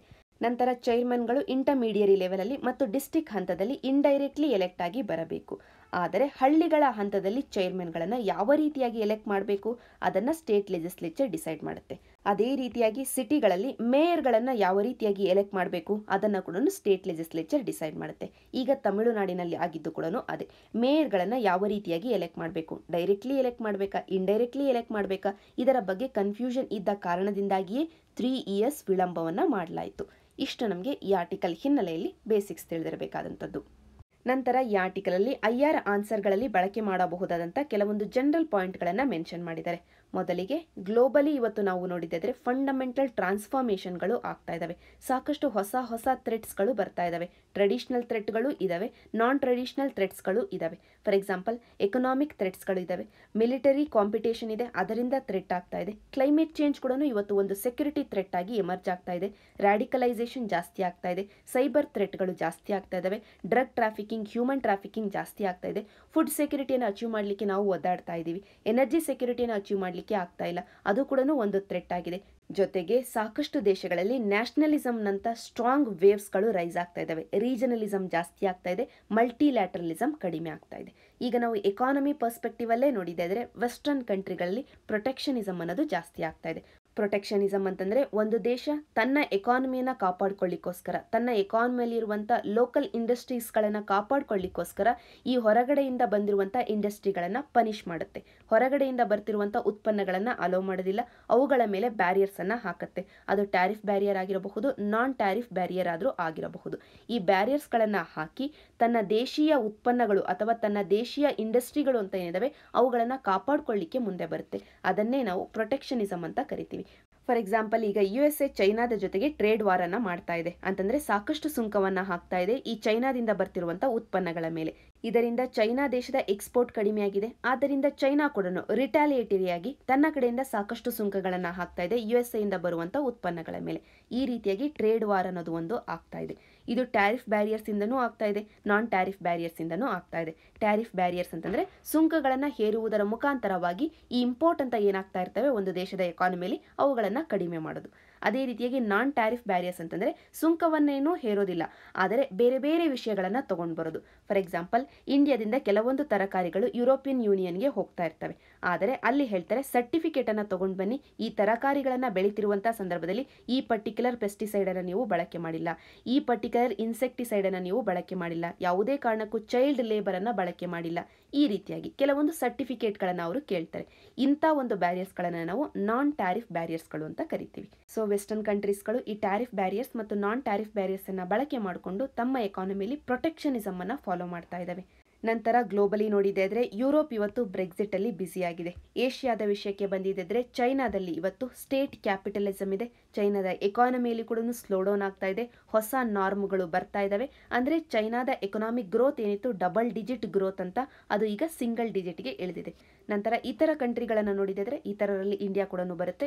ಸ್ಟ್ರಕ್ಚರಲ್ ರಿಫಾರ್ಮ್ಸ್ ಅನ್ನ ಈ ಕಂಟ್ರಿಗಳು ಮಾಡ್ತಾ ಇದ್ದಾವೆ ಸ್ಕಿಲ್ ಟ್ರೈನಿಂಗಿಗೋಸ್ಕರ ಎಫರ್ಟ್ಸ್ ಅನ್ನ ಹಾಕ್ತಾ ಇದ್ದಾವೆ ಹೊಸ ಹೊಸ ಟೆಕ್ನಾಲಜಿಯನ್ನು ಅಕ್ವೈರ್ ಮಾಡಿಕೊಂಡು ತಮ್ಮ ಇಂಡಸ್ಟ್ರಿಯನ್ನು ಡೆವಲಪ್ ಮಾಡ್ತಿದ್ದಾವೆ ಇದು ಇತರ ಕಂಟ್ರಿಗಳು ಏಷ್ಯಾದಲ್ಲಿ. ಈಗ ನಾವು ಇಂಡಿಯಾ ಮತ್ತು ಚೈನಾಕ್ಕೆ ಬರೋಣ. ಇಂಡಿಯಾ ಮತ್ತು ಚೈನಾ ಇಬ್ಬರು ಇವತ್ತು ಗ್ಲೋಬಲ್ ಎಕನಾಮಿಕ್ ಗ್ರೋತ್ಗೆ ಕಾಂಟ್ರಿಬ್ಯೂಟ್ ಮಾಡಬೇಕಾಗಿದೆ. ಗ್ಲೋಬಲ್ ಎಕನಾಮಿಕ್ ಗ್ರೋತು ಈ ಇಡೀ ದಶಕದಲ್ಲೇ ಅತಿ ಕಡಿಮೆ ಅನ್ನುವ ಮಟ್ಟಕ್ಕೆ ಬಂದಿದೆ. ಅದಕ್ಕೆ ಮೇಜರ್ ರೀಸನ್ ಅಂದರೆ ಟ್ರೇಡ್ ವಾರ್ ಮತ್ತು ಪ್ರೊಟೆಕ್ಷನಿಸಮೇ ಆಗಿದೆ. ಅದರ ಹಿನ್ನೆಲೆಯಲ್ಲಿ ಇಂಡಿಯಾ ಮತ್ತು ಚೈನಾ ಇವತ್ತು ಕೋಆಪರೇಟ್ ಮಾಡಬೇಕಾಗಿದೆ. ಗ್ಲೋಬಲ್ ಎಕನಾಮಿಕ್ ಗ್ರೋತ್ಗೆ ಕಾಂಟ್ರಿಬ್ಯೂಟ್ ಮಾಡಬೇಕಾಗಿದೆ. ಇಂಡಿಯಾ ಸ್ಪೆಸಿಫಿಕ್ ಆಗಿ ಹೇಳೋದಾದರೆ ಇಂಡಿಯಾದ ಸೊಸೈಟಿ ಇವತ್ತು ಟ್ರಾನ್ಸ್ಫಾರ್ಮ್ ಆಗ್ತಿದೆ. ತನ್ನನ್ನು ತಾನು ನಾಲೆಡ್ಜ್ ಬೇಸ್ಡ್ ಸೊಸೈಟಿಯಾಗಿ ಎಸ್ಟಾಬ್ಲಿಷ್ ಮಾಡ್ಕೊಳ್ತಾ ಇದೆ. ಸ್ಕಿಲ್ ಸಪೋರ್ಟೆಡ್ ಸೊಸೈಟಿಯಾಗಿ ಎಸ್ಟಾಬ್ಲಿಷ್ ಮಾಡ್ಕೊಳ್ತಾ ಇದೆ. ಟೆಕ್ನಾಲಜಿ ಡ್ರಿವನ್ ಸೊಸೈಟಿಯಾಗಿ ಎಸ್ಟಾಬ್ಲಿಷ್ ಮಾಡ್ಕೊಳ್ತಾ ಇದೆ. ಇಂಡಿಯಾದಲ್ಲಿ ಇವತ್ತು liberal F D I regime ಇದೆ. ಆದ್ದರಿಂದನೇ ಎಫ್ ಡಿ ಹರಿದು ಬರ್ತಾ ಇದೆ. ನಂತರ ಇಂಡಿಯಾದ ಡೆಮೋಗ್ರಫಿಯನ್ನು ನೋಡಿದರೆ ಸಾಕಷ್ಟು ಯಂಗ್ ಡೆಮೋಗ್ರಫಿಯನ್ನು ಇಂಡಿಯಾ ಹೊಂದಿದೆ. By next year by twenty twenty India youngest nation ಆಗೋದಿದೆ. Average age ಬಂದು ಟ್ವೆಂಟಿ ನೈನ್ ಇಯರ್ಸ್ ಆಗೋದಿದೆ. ಎಂಥ ಸಮಯದಲ್ಲಿ ನಾವು ಯಂಗ್ ನೇಷನ್ ಆಗ್ತಾ ಇದ್ದೀವಿ ಅಂತಂದರೆ ವೆಸ್ಟರ್ನ್ ಕಂಟ್ರಿಗಳಲ್ಲಿ ಈಗಾಗಲೇ ಡೆವಲಪ್ಡ್ ಕಂಟ್ರೀಸ್ ಅಂತ ಏನಿದ್ದಾವೆ ಫಾರ್ ಎಕ್ಸಾಂಪಲ್ ಜಪಾನ್ ಅಂತ ದೇಶ, ಅಲ್ಲಿ ಡೆಮೋಗ್ರಫಿ ಸಾಕಷ್ಟು ಏಜ್ಡ್ ಆಗಿರುವಂಥ ಸಂದರ್ಭದಲ್ಲಿ ಇಂಡಿಯಾ ಇವತ್ತು ಯಂಗೆಸ್ಟ್ ನೇಷನ್ ಆಗಿ ಎಮರ್ಜ್ ಆಗ್ತಾ ಇದೆ. ಆದ್ದರಿಂದ ತನ್ನ ಡೆಮೋಗ್ರಫಿಯಿಂದ ಡಿವಿಡೆಂಡ್ಸ್ಗಳನ್ನು ಪಡೆದುಕೊಳ್ಳಿಕ್ಕೋಸ್ಕರನೇ ಇಂಡಿಯಾ ಇವತ್ತು ಎಫರ್ಟ್ಸನ್ನು ಹಾಕ್ತಾ ಇದೆ ಇಂಥ ಸಂದರ್ಭದಲ್ಲಿ ಚೈನಾದ ಜೊತೆಗೆ ನಾವು ಕೋಆಪರೇಟ್ ಮಾಡಬೇಕಾಗಿದೆ. ಚೈನಾ ಇಂಡಿಯಾದಲ್ಲಿ ತನ್ನ ಎಫ್ ಡಿ ಐಯನ್ನು ಜಾಸ್ತಿ ಮಾಡಬೇಕಾಗಿದೆ. ಸ್ಪೆಸಿಫಿಕಲಿ ಚೈನಾ ಇವತ್ತು ಸ್ಕಿಲ್ ಇಂಡಿಯಾ ಮಿಷನಲ್ಲಿ ಸ್ಮಾರ್ಟ್ ಸಿಟಿ ಮಿಷನಲ್ಲಿ ತನ್ನ ಎಫ್ ಡಿ ಐನ ಜಾಸ್ತಿ ಮಾಡಬೇಕಾಗಿದೆ ಇಂಡಿಯಾದ ಜೊತೆಗೆ ಕೈ ಜೋಡಿಸಬೇಕಾಗಿದೆ. ನಂತರ ವಾಣಿಜ್ಯ ವ್ಯಾಪಾರ ಟ್ರೇಡ್ ವಿಷಯಕ್ಕೆ ಬಂದಿದೆ ಅಂದರೆ ಇಂಡಿಯಾ ಮತ್ತು ಚೈನಾದ ನಡುವೆ around ninety five billion dollar ಅಷ್ಟು ಟ್ರೇಡ್ ಅನ್ನೋದು ಆಗ್ತಾ ಇದೆ. ಆದರೆ ಟ್ರೇಡ್ ಡೆಫಿಸಿಟ್ ಜಾಸ್ತಿ ಇದೆ. More than fifty billion dollar ಇವತ್ತು ಟ್ರೇಡ್ ಡೆಫಿಸಿಟ್ ಇದೆ ಇಂಡಿಯಾದ ವಿರುದ್ಧವಾಗಿ. ಆದ್ದರಿಂದನೇ ಈ ಟ್ರೇಡ್ ಡೆಫಿಸಿಟ್ ಅನ್ನ ಕಡಿಮೆ ಮಾಡಬೇಕು ಅಂತ ಮಾಮಲ್ಲಪುರಂ ಸಮಿಟ್ ಅಲ್ಲಿ ಕೂಡ ನಾವು ಡಿಸ್ಕಸ್ ಮಾಡಿದ್ವಿ. ಚೆನ್ನೈ ಕನೆಕ್ಟ್ ಅಲ್ಲಿ one of the important topic ನಾವು ಡಿಸ್ಕಸ್ ಮಾಡಿದ್ದು ಅಂತಂದ್ರೆ ಟ್ರೇಡು ಮತ್ತು ಟ್ರೇಡ್ ಡೆಫಿಸಿಟನ್ನು ಕಡಿಮೆ ಮಾಡಲಿಕ್ಕೆ ಬೇಕಾಗಿರುವಂಥ ಎಫರ್ಟ್ಸ್ ನಂತರ ಮಲ್ಟಿಲ್ಯಾಟ್ರಲ್ ಫೋರಮ್ಸ್ ಅಲ್ಲಿ for example W T one ಅಂತ ಫೋರಮ್ಸ್ ಅಲ್ಲಿ ಇಂಡಿಯಾ ಮತ್ತು ಚೈನಾ ಕಾಮನ್ ಇಂಟ್ರೆಸ್ಟ್ ಅನ್ನ ಹೊಂದಿದ್ದಾರೆ ಆದ್ದರಿಂದ ಡಬ್ಲ್ಯೂ ಟಿ ಒನ್ ಅಂತ ಮಲ್ಟಿಲ್ಯಾಟ್ರಲ್ ರಿಫಾರ್ಮ್ಸ್ ಅನ್ನ ತರಲಿಕ್ಕೆ ಕೂಡ ನಾವು ಕೈ ಜೋಡಿಸಬೇಕಾಗಿದೆ. ನಂತರ ರೀಜನಲ್ ಫೋರಮ್ಗಳಿಗೆ ಬಂದಿದ್ದರೆ ಆರ್ ಸಿ ಇ ಪಿ ಇಂಡಿಯಾದ ಕನ್ಸರ್ನ್ಸ್ಗಳನ್ನು ಇವತ್ತು ಚೈನಾ ಅಡ್ರೆಸ್ ಮಾಡಬೇಕಾಗಿದೆ. ಅದರಲ್ಲೂ ಇಂಡಿಯಾಗೆ ಬೇಕಾಗಿರೋದು ಅಂತಂದ್ರೆ ಟ್ರೇಡ್ ಇನ್ ಸರ್ವಿಸಸ್ ಯಾಕೆ ಅಂತಂದ್ರೆ ಇಂಡಿಯಾದ ಸರ್ವಿಸ್ ಸೆಕ್ಟರ್ ಸಾಕಷ್ಟು ಸ್ಟ್ರಾಂಗ್ ಆಗಿದೆ. ಇಂಡಿಯಾ ತನ್ನ ಸರ್ವಿಸಸ್ ಅನ್ನು ಎಕ್ಸ್ಪೋರ್ಟ್ ಮಾಡಲಿಕ್ಕೆ ಕಾತರದಿಂದ ಕಾಯ್ತಾ ಇದೆ. ಯಾಕೆಂತಂದ್ರೆ ಇಂಡಿಯನ್ ಎಕಾನಮಿಯಲ್ಲಿ ಸರ್ವಿಸ್ ಸೆಕ್ಟರೇ ಮೇಜರ್ ಕಾಂಟ್ರಿಬ್ಯೂಟರ್ ಆಗಿದೆ. ಮ್ಯಾನುಫ್ಯಾಕ್ಚರಿಂಗ್ ಸೆಕ್ಟರ್ ಆಗಿಲ್ಲ. ಯಾಕೆಂದರೆ ಓವರ್ ಆಲ್ ಜಿ ಅದರ ಶೇರ್ ಕಡಿಮೆ ಇದೆ. ಅಗ್ರಿಕಲ್ಚರ್ ಸೆಕ್ಟರು ಕ್ರೈಸಿಸ್ ಅಲ್ಲಿ ಇದೆ. ಹೀಗಿರಬೇಕಾದ್ರೆ ಇಂಡಿಯಾ ಈಗ ತನ್ನ ಜಿ ಡಿ ಪಿ ಗ್ರೋತ್ ಅನ್ನ ಕಾಣಬೇಕು ಅಂತಂದ್ರೆ ಅದು ಸರ್ವಿಸ್ ಸೆಕ್ಟರ್ ಇಂದನೇ. ಆದ್ದರಿಂದನೇ ಟ್ರೇಡ್ ಇನ್ ಸರ್ವಿಸಸ್ ಅನ್ನ ಈಗ ಚೈನಾ ಒಪ್ಕೊಳ್ಬೇಕಾಗಿದೆ. ಜಪಾನ್ ಈಗಾಗಲೇ ಸಪೋರ್ಟ್ ಮಾಡ್ತಾ ಇದೆ. ಜಪಾನ್ ಹೇಳ್ತಾ ಇದೆ ಆ ಸಿ ಇ ಪಿಗೆ ಇಂಡಿಯಾವನ್ನ ಕರ್ಕೊಂಡು ಬರಬೇಕು ಅಂತ. ಆದ್ದರಿಂದ ಚೈನಾ ಕೂಡ ತನ್ನ ಕಡೆಯಿಂದ ಎಫರ್ಟ್ಸ್ ಅನ್ನ ಹಾಕಬೇಕು. ಇಂಡಿಯಾದ ಕನ್ಸರ್ನ್ಸ್ಗೆ ತನ್ನ ಕಡೆಯಿಂದ ಸೊಲ್ಯೂಷನ್ಸ್ ಅನ್ನ ಕೊಡಬೇಕು. ನಂತರ ಚೈನಾದಲ್ಲಿ ನಡೆದಂಥ ವುಹಾನ್ ಸಮಿಟಿನ ಮುಖಾಂತರವಾಗಿ India China plus one concept ಅನ್ನು ನಾವು ತಗೊಂಡು ಬಂದ್ವಿ. ಈಗ ಸದ್ಯಕ್ಕೆ ಈ ಕಾನ್ಸೆಪ್ಟ್ ಅಡಿಯಲ್ಲಿ ಅಫ್ಘಾನಿಸ್ತಾನಿನ ಡಿಪ್ಲೊಮ್ಯಾಟ್ಸ್ಗೆ ಟ್ರೈನಿಂಗ್ ಅನ್ನ ಕೊಡ್ತಾ ಇದ್ದೀವಿ ಆದರೆ ಲೇಖಕರು ಹೇಳೋದಂತಂದ್ರೆ ಈ ಇಂಡಿಯಾ ಚೈನಾ ಪ್ಲಸ್ ಒನ್ ಅನ್ನ ಈ ಟ್ರೈನಿಂಗಿಗಿಂತನೂ ಹೆಚ್ಚು ಬ್ರಾಡನ್ ಮಾಡಬೇಕಾಗಿದೆ. ಫಾರ್ ಎಕ್ಸಾಂಪಲ್ ಏಷ್ಯಾದಲ್ಲಿ ಇನ್ಫ್ರಾಸ್ಟ್ರಕ್ಚರ್ ಅನ್ನ ಕ್ರಿಯೇಟ್ ಮಾಡಲಿಕ್ಕೆ ಕನೆಕ್ಟಿವಿಟಿಯನ್ನು ಜಾಸ್ತಿ ಮಾಡಲಿಕ್ಕೆ. ಅದರಲ್ಲೂ ನಾವು ತರುವಂಥ ಮಾಡೆಲ್ಲು ಏಷ್ಯನ್ ಇನ್ಫ್ರಾಸ್ಟ್ರಕ್ಚರ್ ಇನ್ವೆಸ್ಟ್ಮೆಂಟ್ ಬ್ಯಾಂಕಿನ ಮಾಡೆಲ್ ಆಧಾರದ ಮೇಲೆ open transparent and equality based model ಅನ್ನು ತರುವುದರ ಮುಖಾಂತರವಾಗಿ ಈ India China plus one concept ಅನ್ನು ಇಂಪ್ಲಿಮೆಂಟ್ ಮಾಡಬೇಕು ಅನ್ನುವಂಥ ಮಾತನ್ನ ಹೇಳ್ತಿದ್ದಾರೆ. ನಂತರ ಎಕ್ಸ್ಕ್ಲೂಸಿವ್ ಎಕನಾಮಿಕ್ ಝೋನ್ ವಿಷಯಕ್ಕೆ ಬಂದಿದೆ ಆದರೆ ಚೈನಾ ಇದನ್ನು ರೆಸ್ಪೆಕ್ಟ್ ಮಾಡಬೇಕಾಗಿದೆ. ಯಾಕೆ ಅಂತಂದರೆ ಇತ್ತೀಚೆಗೆ ಚೈನಾ ಇಂಡಿಯಾದ ಎಕ್ಸ್ಕ್ಲೂಸಿವ್ ಎಕನಾಮಿಕ್ ಝೋನಲ್ಲಿ ಬರುವ ಹಾಗೆ ತನ್ನ ನ್ಯಾವಲ್ ಶಿಪ್ಗಳನ್ನು ಕಳಿಸಿತ್ತು. ಅದು one of the cause of concern ಆಗಿದೆ ಇಂಡಿಯಾಗೆ. ಇಲ್ಲಿ ಎಕ್ಸ್ಕ್ಲೂಸಿವ್ ಎಕನಾಮಿಕ್ ಝೋನ್ ಅಂದರೆ ಏನು ಅಂತ ಸಿಂಪಲ್ ಟರ್ಮ್ಸಲ್ಲಿ ಅರ್ಥ ಮಾಡ್ಕೊಳ್ಳೋಣ. ಈಗ ಒಂದು ದೇಶ ಅಂತಂದರೆ ಇಂಡಿಯಾವನ್ನೇ ತಗೊಳ್ಳೋಣ. ಇಂಡಿಯಾದ ಟೆರಿಟರಿಯನ್ನು ನೋಡಿದ್ದಾದರೆ ನಮಗೆ ಲ್ಯಾಂಡ್ ಬೌಂಡ್ರಿ ಈಸಿಯಾಗಿ ಗೊತ್ತಾಗುತ್ತೆ. ಆದರೆ ನಮ್ಮ ಸುತ್ತ ಇರುವಂಥ ಓಷನಿನ ಬೌಂಡ್ರಿ ಯಾವುದು? ಅದಕ್ಕೋಸ್ಕರನೇ ಯುನೈಟೆಡ್ ನೇಷನ್ಸ್ ಅಡಿಯಲ್ಲಿ ಯು ಎನ್ ಕ್ಲಾಸ್ ಅನ್ನುವಂಥ ಒಂದು ಕನ್ವೆನ್ಷನ್ ಅನ್ನು ತಗೊಂಡು ಬಂದಿದ್ದೀವಿ United Nation convention on law of sea ಅಂತ. ಇದರ ಪ್ರಕಾರವಾಗಿ ನಮ್ಮ ಬೌಂಡರಿಯಿಂದ ಶುರು ಮಾಡಿಕೊಂಡು ಟ್ವೆಲ್ ನಾಟಿಕಲ್ ಮೈಲ್ಸ್ವರೆಗೂ ಟೆರಿಟೋರಿಯಲ್ ಸಿ ಅಂತ. ಇದನ್ನು ನಾವು ಈ ದೇಶದ ಎಲ್ಲ ಕಾನೂನುಗಳನ್ನು ಅಪ್ಲೈ ಮಾಡಲಿಕ್ಕೆ ಅಂತ ಬಳಕೆ ಮಾಡ್ಕೊಳ್ತೀವಿ ಈ ಝೋನನ್ನು ನಮ್ಮ ಒಂದು ಕೋಸ್ಟಲ್ ಏರಿಯಾದಿಂದ ಟ್ವೆಲ್ ನಾಟಿಕಲ್ ಮೈಲ್ಸ್ ನಂತರ ಈ ಟ್ವೆಲ್ತ್ ನಾಟಿಕಲ್ ಮೈಲಿಂದ ನಂತರ ಟ್ವೆಲ್ ನಾಟಿಕಲ್ ಮೈಲ್ಸ್ ಅನ್ನು ತಗೊಂಡು ಈ ಒಂದು ಏರಿಯಾವನ್ನು ನಾವು ಕಂಟಿಗಿಯಸ್ ಝೋನ್ ಅಂತ ಕರಿತೀವಿ. ಈ ಟ್ವೆಂಟಿ ಫೋರ್ ನಾಟಿಕಲ್ ಮೈಲ್ಸಿನ ನಂತರ ಟೂ ಹಂಡ್ರೆಡ್ ನಾಟಿಕಲ್ ಮೈಲ್ಸ್ವರೆಗೂ ಇರುವಂಥ ಏರಿಯಾವನ್ನು ಎಕ್ಸ್ಕ್ಲೂಸಿವ್ ಎಕನಾಮಿಕ್ ಝೋನ್ ಅಂತ ಕರಿತೀವಿ. ನಂತರ ಈ ಟೂ ಹಂಡ್ರೆಡ್ ನಾಟಿಕಲ್ ಮೈಲ್ಸಿನ ನಂತರ ಬರುವಂಥ ಏರಿಯಾವನ್ನು ನಾವು ಹೈ ಸಿ ಅಂತ ಕರಿತೀವಿ. ಇದೇ ಕನ್ವೆನ್ಷನ್ ಅಡಿಯಲ್ಲಿ ಯು ಎನ್ ಕ್ಲಾಸಿನ ಅಡಿಯಲ್ಲೇ ನಾವು ಇಂಟರ್ನ್ಯಾಷನಲ್ ಸೀಬೆಡ್ ಅಥಾರಿಟಿ ಅನ್ನುವಂಥ ಸಂಸ್ಥೆಯನ್ನು ತಗೊಂಡು ಬಂದಿದ್ವಿ. ಈ ಇಂಟರ್ನ್ಯಾಷನಲ್ ಸೀಬೆಡ್ ಅಥಾರಿಟಿ ಈ ಹೈ ಸಿಯನ್ನು ಮ್ಯಾನೇಜ್ ಮಾಡುತ್ತೆ. ಆದರೆ ಈ ಎಕ್ಸ್ಕ್ಲೂಸಿವ್ ಎಕನಾಮಿಕ್ ಝೋನ್ವರೆಗೂ ಟೂ ಹಂಡ್ರೆಡ್ ನಾಟಿಕಲ್ ಮೈಲ್ಸ್ವರೆಗೂ ಇರುವಂಥ ಏರಿಯಾವನ್ನು ಆ ಪರ್ಟಿಕ್ಯುಲರ್ ದೇಶವೇ ತನ್ನ ಕಡೆಯಿಂದ ಮ್ಯಾನೇಜ್ ಮಾಡುತ್ತೆ. ಈಗ ಇಂಡಿಯಾದ ಎಕ್ಸ್ಕ್ಲೂಸಿವ್ ಎಕನಾಮಿಕ್ ಝೋನಲ್ಲಿ ಚೈನಾದ ನಾವೆಲ್ ಶಿಪ್ಸ್ ಬಂದಿದೆ ಆದರೆ ಅದು ನಮ್ಮ ಸೆಕ್ಯೂರಿಟಿ ಥ್ರೆಟ್ ಆಯಿತು. ಆದ್ದರಿಂದನೇ ಇಂಡಿಯಾಗೆ ಈಗ ಕನ್ಸರ್ನ್ ಇರೋದು ಚೈನಾ ಈ ಎಕ್ಸ್ಕ್ಲೂಸಿವ್ ಎಕನಾಮಿಕ್ ಝೋನನ್ನು ರೆಸ್ಪೆಕ್ಟ್ ಮಾಡಬೇಕಾಗಿದೆ. ನಂತರ ಇನ್ನೊಂದು ಡೈಮೆನ್ಷನ್ ಆಯಿಲ್ ಮಾರ್ಕೆಟ್ ವಿಷಯವಾಗಿ. ಈಗ OPEC nations, non OPEC nations ಎಲ್ಲ ಒಟ್ಟಿಗೆ ಬಂದು ಆಯಿಲ್ ಪ್ರೈಸಸ್ ಏನು ಕಡಿಮೆ ಆಗ್ತಾ ಇದೆ, ಇದನ್ನು ಸರಿಪಡಿಸಬೇಕು ಅಂತ ಎಫರ್ಟ್ಸ್ ಆಗ್ತಾ ಇದ್ದಾರೆ. ಅದಕ್ಕೋಸ್ಕರ ಇವೇನಾದರೂ ಆಯಿಲ್ ಸಪ್ಲೈಯನ್ನು ಕಡಿಮೆ ಮಾಡಿದ್ದೆ ಆದರೆ, ಅಂದರೆ ಪ್ರೈಸಸನ್ನು ಜಾಸ್ತಿ ಮಾಡಬೇಕು ಅಂತಂದರೆ ಸಪ್ಲೈಯನ್ನು ಕಡಿಮೆ ಮಾಡಬೇಕು. ಸಪ್ಲೈಯನ್ನು ಕಡಿಮೆ ಮಾಡಿದ್ವು ಅಂತಂದರೆ ಇಂಡಿಯಾ ಮತ್ತು ಚೈನಾಕ್ಕೆ ಡೈರೆಕ್ಟ್ ಎಫೆಕ್ಟ್ ಆಗುತ್ತೆ. ಯಾಕೆ ಅಂತಂದರೆ ಈ ಎರಡೂ ದೇಶಗಳು ಗ್ಲೋಬಲಿ ಮೇಜರ್ ಆಯಿಲ್ ಇಂಪೋರ್ಟರ್ಸ್ ಆಗಿದ್ದಾವೆ ಅದಕ್ಕೋಸ್ಕರ. ಆದ್ದರಿಂದ ಈ ವಿಷಯವಾಗಿ ಕೂಡ ನಾವಿವತ್ತು ಕೋಆಪ್ರೇಟ್ ಮಾಡಬೇಕಾಗಿದೆ. ನಂತರ ಕೊನೆಯಲ್ಲಿ ಲೇಖಕರು ಹೇಳೋದು ಅಂತಂದರೆ ಏಷ್ಯಾ ಇವತ್ತು ರೈಸ್ ಆಗಬೇಕು ಅಂತಂದರೆ ಅದಕ್ಕೆ ಬೇಸಿಕ್ ಪಿಲ್ಲರ್ ಏನಾಗಬೇಕು ಅಂತಂದರೆ ಪೀಸ್ ಆ್ಯಂಡ್ ಸ್ಟೆಬಿಲಿಟಿ ಆಗಬೇಕಾಗಿದೆ. ಅದನ್ನೇ ರಾಯ್ಸೆನಾ ಡೈಲೆಗಲ್ಲಿ ಟೂ ತೌಸಂಡ್ ಸೆವೆಂಟೀನಲ್ಲಿ ನಮ್ಮ ಪ್ರೈಮ್ ಮಿನಿಸ್ಟರ್ ಹೇಳಿದ್ದು. ಇಷ್ಟು ನಮಗೆ ಈ ಆರ್ಟಿಕಲಿಂದ ಸಿಗುವಂಥ ಪಾಯಿಂಟ್ಸ್ ಇಲ್ಲಿರುವಂಥ ಪಾಯಿಂಟ್ಸನ್ನು ಇನ್ ಜನರಲ್ ಆಗಿ ನೀವು ಐ ಆರ್ ಆನ್ಸರಲ್ಲಿ ಬಳಕೆ ಮಾಡ್ಕೊಳ್ಳಿಕ್ಕೆ ಆಗುತ್ತೆ. ಅದಕ್ಕೋಸ್ಕರನೇ ಡಿಸ್ಕಸ್ ಮಾಡಿದ್ದು. ನಂತರ ಈ ಆರ್ಟಿಕಲಲ್ಲಿ ಎನ್ಕೌಂಟರ್ಗಳ ಬಗ್ಗೆ ಮಾತಾಡ್ತಾ ಇದ್ದಾರೆ. ಈಗಾಗಲೇ ನಾವು ಇನ್ ಡೀಟೈಲ್ಡ್ ಆಗಿ ಡಿಸ್ಕಸ್ ಮಾಡಿದ್ದೀವಿ ಅಲ್ಲಿರುವಂಥ ಪಾಯಿಂಟ್ಸ್ಗಳ ಜೊತೆಗೆ ಇನ್ನೂ ಕೆಲವೊಂದು ಪಾಯಿಂಟ್ಗಳನ್ನ ಆ್ಯಡ್ ಮಾಡ್ಕೊಳ್ಳೋಣ. ಮೊದಲನೆಯದಾಗಿ, ಎನ್ಕೌಂಟರ್ ಕಿಲ್ಲಿಂಗ್ಸಲ್ಲಿ ಕೆಲವೊಂದು ಬೇಸಿಕ್ ಕ್ವೆಶನ್ಸ್ ನಮ್ಮ ಮುಂದೆ ಬರ್ತವೆ. ಮೊದಲನೇ ಕ್ವೆಶನ್ ಅಂತಂದ್ರೆ, ಅಲ್ಲಿ ಎನ್ಕೌಂಟರ್ ಆಗಿರುವಂಥ ಪರ್ಸನ್ ಇನೋಸೆಂಟ್ ಆಗಿದ್ರೆ ಅದರ ವಿಷಯವಾಗಿ ಪ್ರಶ್ನೆಯನ್ನ ಕೇಳುವವರು ಯಾರು? ಯಾಕೆ ಅಂತಂದ್ರೆ, ಆ ವ್ಯಕ್ತಿ ಇನೋಸೆಂಟೋ ಅಥವಾ ಅಪರಾಧಿಯೋ ಅಂತ ಎಸ್ಟಾಬ್ಲಿಷ್ ಮಾಡೋದು ಜುಡಿಷಿಯರಿಯ ಕೆಲಸ ಜುಡಿಷಿಯರಿ ಇನ್ನೂ ಎಸ್ಟಾಬ್ಲಿಷ್ ಮಾಡಿಲ್ಲ. ಅಲ್ಲಿರುವಂಥ ಅಕ್ಯೂಸ್ಡನ್ನೇ ಇವರು ಎನ್ಕೌಂಟರ್ ಮಾಡಿದ್ದಾರೆ ಅಂತಂದರೆ ಇನೋಸೆಂಟ್ಗೆ ಇವರು ಶಿಕ್ಷೆಯನ್ನು ಕೊಟ್ಟ ಹಾಗೆ ಆಯಿತು. ಮೊದಲನೇ ಪ್ರಶ್ನೆ.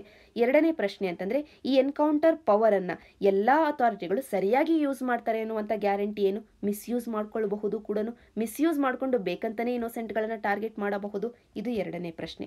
ಮೂರನೇ ಪ್ರಶ್ನೆ ಅಂತಂದರೆ ಇಲ್ಲಿ ನಮಗೆ ಬೇಕಾಗಿರುವಂಥ ಪ್ರೂಫ್ಗಳು ಎವಿಡೆನ್ಸ್ಗಳು ಅಂತ ಏನಿದ್ದಾವೆ, ಅವುಗಳನ್ನೇ ಎಲಿಮಿನೇಟ್ ಮಾಡಬಹುದು ಈ ಎನ್ಕೌಂಟರ್ ಪವರನ್ನು ಬಳಕೆ ಮಾಡಿಕೊಂಡು. ಸೊ ಮೂರನೇ ಕ್ವೆಶನ್ ನಾಲ್ಕನೇ ಕ್ವೆಶನ್ ಅಂತಂದರೆ ರೂಲ್ ಆಫ್ ಲಾ ಅನ್ನೋದು. ಒಂದು ಡೆಮಾಕ್ರಸಿಯ ಅಡಿಪಾಯ. ಈ ರೂಲ್ ಆಫ್ ಲಾನೇ ಅಂಡರ್ಮೈನ್ ಮಾಡುತ್ತೆ ಈ ಎನ್ಕೌಂಟರ್ ಕಿಲ್ಲಿಂಗ್ ಅನ್ನೋದು. ಯಾಕೆ ಅಂತಂದರೆ ಲಾ ಏನು ಹೇಳುತ್ತೆ ಅಂತಂದರೆ ಒಂದು ಪ್ರೊಸೀಜರನ್ನು ಹೇಳುತ್ತೆ. ಆ ಪ್ರೊಸೀಜರಿನ ಮುಖಾಂತರವಾಗಿ ಅಪರಾಧಿಗೆ ಶಿಕ್ಷೆ ಆಗಬೇಕು ಅಂತ ಲಾ ಹೇಳುತ್ತೆ. ಇದೇ ರೂಲ್ ಆಫ್ ಲಾ ಆಗಿದೆ. ರೂಲ್ ಆಫ್ ಲಾ ಅನ್ನೋದು ಎಲ್ಲರಿಗೂ ಅಪ್ಲಿಕಬಲ್ ಆಗುತ್ತೆ. ಆದರೆ ಇಲ್ಲಿ ಪೊಲೀಸ್ ಅವರು ತಮ್ಮ ಕಡೆಯಿಂದ ಇನ್ಸ್ಟಂಟ್ ಜಸ್ಟಿಸ್ ಅನ್ನ ಕೊಡಲಿಕ್ಕೆ ಮುಂದೆ ಬರ್ತಾ ಇದ್ದಾರೆ. ಅಂದರೆ ಜುಡಿಷಿಯರಿಯನ್ನು ಅಂಡರ್ಮೈನ್ ಮಾಡ್ತಾ ಇದ್ದಾರೆ ಲಾವನ್ನು ಅಂಡರ್ಮೈನ್ ಮಾಡ್ತಾ ಇದ್ದಾರೆ. ಆದ್ದರಿಂದ ನಮ್ಮ ಡೆಮಾಕ್ರಸಿಯ ಅಡಿಪಾಯ ಏನಿದೆ, ಅದನ್ನೇ ಅಲುಗಾಡಿಸುವ ಕೆಲಸ ಇದಾಗಿದೆ. ಅದನ್ನೇ ಈ ಆರ್ಟಿಕಲಲ್ಲಿ ಡಿಸ್ಕಸ್ ಮಾಡಿರೋದು. ನಂತರ ಪೊಲೀಸ್ ಅವರಿಗೆ ನಮ್ಮ ಯಾವ ಕಾನೂನು ಪೀಪಲನ್ನು ಸಾಯಿಸುವಂಥ ಒಂದು ಪವರನ್ನು ಕೊಟ್ಟಿಲ್ಲ. ಹೈದರಾಬಾದ್ ಕೇಸಲ್ಲಿ ಪೊಲೀಸರು ಸೆಲ್ಫ್ ಡಿಫೆನ್ಸಿಗೋಸ್ಕರ ಅವರನ್ನು ಸಾಯಿಸಬೇಕಾಗಿ ಬಂತು ಅಂತ ಹೇಳ್ತಾರೆ. ಆದರೂ ಕೂಡ ನಮ್ಮಲ್ಲಿ ವೆಲ್ ಎಸ್ಟಾಬ್ಲಿಷ್ ಪ್ರೊಸೀಜರ್ಸ್ಗಳು ಇದ್ದಾವೆ ಈ ಪ್ರೊಸೀಜರನ್ನು ಒಂದು ಕಡೆ ನೀವು ನೋಟ್ ಡೌನ್ ಮಾಡ್ಕೊಳ್ಳಿ. ಎರಡು ಸಾವಿರದ ಹದಿನಾಲ್ಕರಲ್ಲಿ ಸುಪ್ರೀಂ ಕೋರ್ಟು ಸಿಕ್ಸ್ಟೀನ್ ಪಾಯಿಂಟ್ ಗೈಡ್ಲೈನನ್ನು ಕೊಡ್ತು. ಪೊಲೀಸ್ ಎನ್ಕೌಂಟರ್ ಆಗಿದೆ ಆದರೆ ಯಾವ ಪ್ರೊಸೀಜರನ್ನು ಫಾಲೋ ಮಾಡಬೇಕು, ಎನ್ಕ್ವೈರಿಯನ್ನು ಯಾವ ರೀತಿಯಾಗಿ ಮಾಡಬೇಕು ಅಂತ. ಆ ರೀತಿಯಾಗಿ ನಮ್ಮಲ್ಲಿ ಗೈಡ್ಲೈನ್ಗಳು ಇದ್ದಾವೆ ಅವುಗಳನ್ನು ಫಾಲೋ ಮಾಡಬೇಕಾಗಿದೆ. ಇಲ್ಲ ಅಂತಂದರೆ ನಮ್ಮ ಡೆಮಾಕ್ರಸಿಯ ಅಡಿಪಾಯವೇ ಅಲುಗಾಡುತ್ತೆ. ನಂತರ ನಮ್ಮ ಫಂಡಮೆಂಟಲ್ ರೈಟ್ಸ್ಗಳಲ್ಲಿ ವೆರಿ ಇಂಪಾರ್ಟೆಂಟ್ ಫಂಡಮೆಂಟಲ್ ರೈಟ್ ಅಂತಂದರೆ ಅದು ಆರ್ಟಿಕಲ್ ಟ್ವೆಂಟಿ ಒನ್ ಈ ಆರ್ಟಿಕಲ್ ಹೇಳೋದು ಅಂತಂದರೆ ಯಾವುದೇ ವ್ಯಕ್ತಿ, ಆ ವ್ಯಕ್ತಿಯ ಲೈಫ್ ಮತ್ತು ಪರ್ಸನಲ್ ಲಿಬರ್ಟಿಯನ್ನು ಯಾವುದೇ ಕಾರಣಕ್ಕೂ ಬೇರೆಯವರು ಕಿತ್ತುಕೊಳ್ಳುವ ಹಾಗೆ ಇಲ್ಲ. ಕೇವಲ ಪ್ರೊಸೀಜರ್ ಎಸ್ಟಾಬ್ಲಿಷ್ಡ್ ಬೈ ಲಾ ಮಾತ್ರನೇ ಕಿತ್ಕೊಳ್ಳಿಕ್ಕೆ ಆಗುತ್ತೆ. ಆದರೆ ಪೊಲೀಸ್ ಅವರಿಗೆ ನಮ್ಮ ಲಾ ಈ ಅಥಾರಿಟಿಯನ್ನು ಕೊಟ್ಟಿಲ್ಲ. ಆದ್ದರಿಂದ ಲಾ ಈ ಪ್ರೊಸೀಜರನ್ನು ಕೊಟ್ಟಿಲ್ಲ ಅಂತಂದರೆ ಪೊಲೀಸ್ ಅವರು ಎನ್ಕೌಂಟರ್ ಮಾಡಿ ಆ ಪರ್ಸನ್ನ ಲೈಫನ್ನು ಕಿತ್ಕೊಳ್ತಿದ್ದಾರೆ ಅಂತಂದರೆ ಇದು ಆರ್ಟಿಕಲ್ ಟ್ವೆಂಟಿ ಒನ್ನಿನ ಉಲ್ಲಂಘನೆ ಆಯಿತು. ಜೊತೆಗೆ ಪುಟ್ಟುಸ್ವಾಮಿ ಕೇಸ್ ಜಡ್ಜ್ಮೆಂಟ್ ಬರ್ತಾ ಇರುವಂಥ ಸಂದರ್ಭದಲ್ಲಿ ಕೆಲವೊಂದು ಮಾತುಗಳು ಬಂದು ಜಡ್ಜಸ್ಗಳ ಕಡೆಯಿಂದ ಆ ಜಡ್ಜಸ್ಗಳು ಹೇಳೋದು ಅಂತಂದರೆ ಆರ್ಟಿಕಲ್ ಟ್ವೆಂಟಿ ಒನ್ ಅನ್ನೋದು ನಾನ್ ನೆಗೋಷಿಯಬಲ್ ನಾನ್ ಡೆರೋಗಬಲ್ ಮತ್ತು not suspended even during emergency ಅಂತ.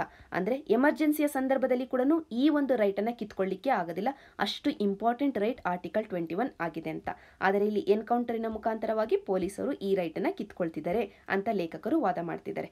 ನಂತರ ಅದೇ ರೀತಿಯಾಗಿ ಇನ್ನೊಂದು ಕೇಸ್ ಕೂಡ ನಮಗೆ ಸಿಗುತ್ತೆ. Salwa Judum case two thousand eleven ಇಲ್ಲಿ ಸಲ್ವಾ ಜುಡುಮ್ ಅಂತಂದ್ರೆ ಈ ನಕ್ಸಲ್ ಏರಿಯಾಗಳಲ್ಲಿ ನಕ್ಸಲಿಸಂ ವಿರುದ್ಧವಾಗಿ ಫೈಟ್ ಮಾಡ್ಲಿಕ್ಕೋಸ್ಕರ ಆ ಏರಿಯಾದಲ್ಲಿರುವಂಥ ಟ್ರೈಬಲ್ ಪೀಪಲ್ ಅಲ್ಲಿ ಅದರಲ್ಲೂ ಮಕ್ಕಳಿಗೆ ಈ ಸ್ಟೇಟ್ ಅಂತಂದ್ರೆ ಗೌರ್ಮೆಂಟು ತನ್ನ ಕಡೆಯಿಂದ ಆರ್ಮ್ಸ್ ಅಮ್ಯುನೇಷನ್ಸ್ ಅನ್ನ ಕೊಡುತ್ತೆ. ಅಂದ್ರೆ ಅಲ್ಲಿರುವಂಥ ಜನತೆಯೇ ಅಲ್ಲಿರುವಂಥ ನಕ್ಸಲೈಟ್ಸ್ಗಳ ವಿರುದ್ಧವಾಗಿ ಹೋರಾಟವನ್ನ ಮಾಡೋದು. ಆ ಜನತೆಗೆ ಸ್ಟೇಟು ಅಂದ್ರೆ ಸರ್ಕಾರ ತನ್ನ ಕಡೆಯಿಂದ ಸಹಾಯವನ್ನ ಮಾಡೋದು. ಆದರೆ ಇಲ್ಲಿ ಜನತೆ ಅಂದಾಗ ಸ್ಟೇಟು ಕೆಲವೊಬ್ಬರು ಬಾಲಕರನ್ನ ಕೂಡ ತನ್ನ ಕಡೆಯಿಂದ ರೆಕ್ರೂಟ್ ಮಾಡ್ಕೊಂಡಿತ್ತು. ಮತ್ತು ಜನತೆಗೆ ತನ್ನ ಕಡೆಯಿಂದ ಸ್ಟೇಟು ಆರ್ಮ್ಸ್ ಅಂಡ್ ಅಮ್ಯುನೇಷನ್ಸ್ ಅನ್ನ ಸಪ್ಲೈ ಮಾಡ್ತಾ ಇದೆ. ಎರಡೂ ಕನ್ಸಸ್ಗಳನ್ನ ಸುಪ್ರೀಂ ಕೋರ್ಟ್ ಹತ್ತಿರ ತಗೊಂಡೋಗ್ಲಾಯ್ತು. ಆಗ supreme court two thousand eleven ಅಲ್ಲಿ ಹೇಳಿದ್ದು ಅಂತಂದ್ರೆ ಸಲ್ವಾ ಜುಡಮ್ ಅನ್ನೋದು ಅನ್ಕಾನ್ಸ್ಟಿಟ್ಯೂಷನಲ್. ಇದು ಕಾನ್ಸ್ಟಿಟ್ಯೂಷನ್ಗೆ ವಿರುದ್ಧವಾಗಿರುವಂತಹ ಕಾನ್ಸೆಪ್ಟ್. ಜೊತೆಗೆ ಸ್ಟೇಟ್ ಯಾವುದೇ ಕಾರಣಕ್ಕೂ ತನ್ನ ಕಡೆಯಿಂದ ತನ್ನ ಸಪೋರ್ಟ್ ಅನ್ನು ಕೊಟ್ಟು ತನ್ನ ಜನತೆಯ ವಿರುದ್ಧವಾಗಿ ವೈಲೆನ್ಸ್ ಅನ್ನ ಮಾಡಲಿಕ್ಕೆ ಪ್ರಮೋಟ್ ಮಾಡಬಾರದು ಅನ್ನುವಂಥ ಮಾತನ್ನ ಸುಪ್ರೀಂ ಕೋರ್ಟ್ ಹೇಳುತ್ತೆ. ಇದನ್ನ ಇಂಡಿಯಾದಲ್ಲಿ ಕಾನ್ಸ್ಟಿಟ್ಯೂಷನಲ್ ಮೊರಾಲಿಟಿಯನ್ನು ತಂದಂತ ಒಂದು ಟಚ್ ಸ್ಟೋನ್ ಜಡ್ಜ್ಮೆಂಟ್ ಅಂತಾನೆ ಹೇಳಬಹುದು.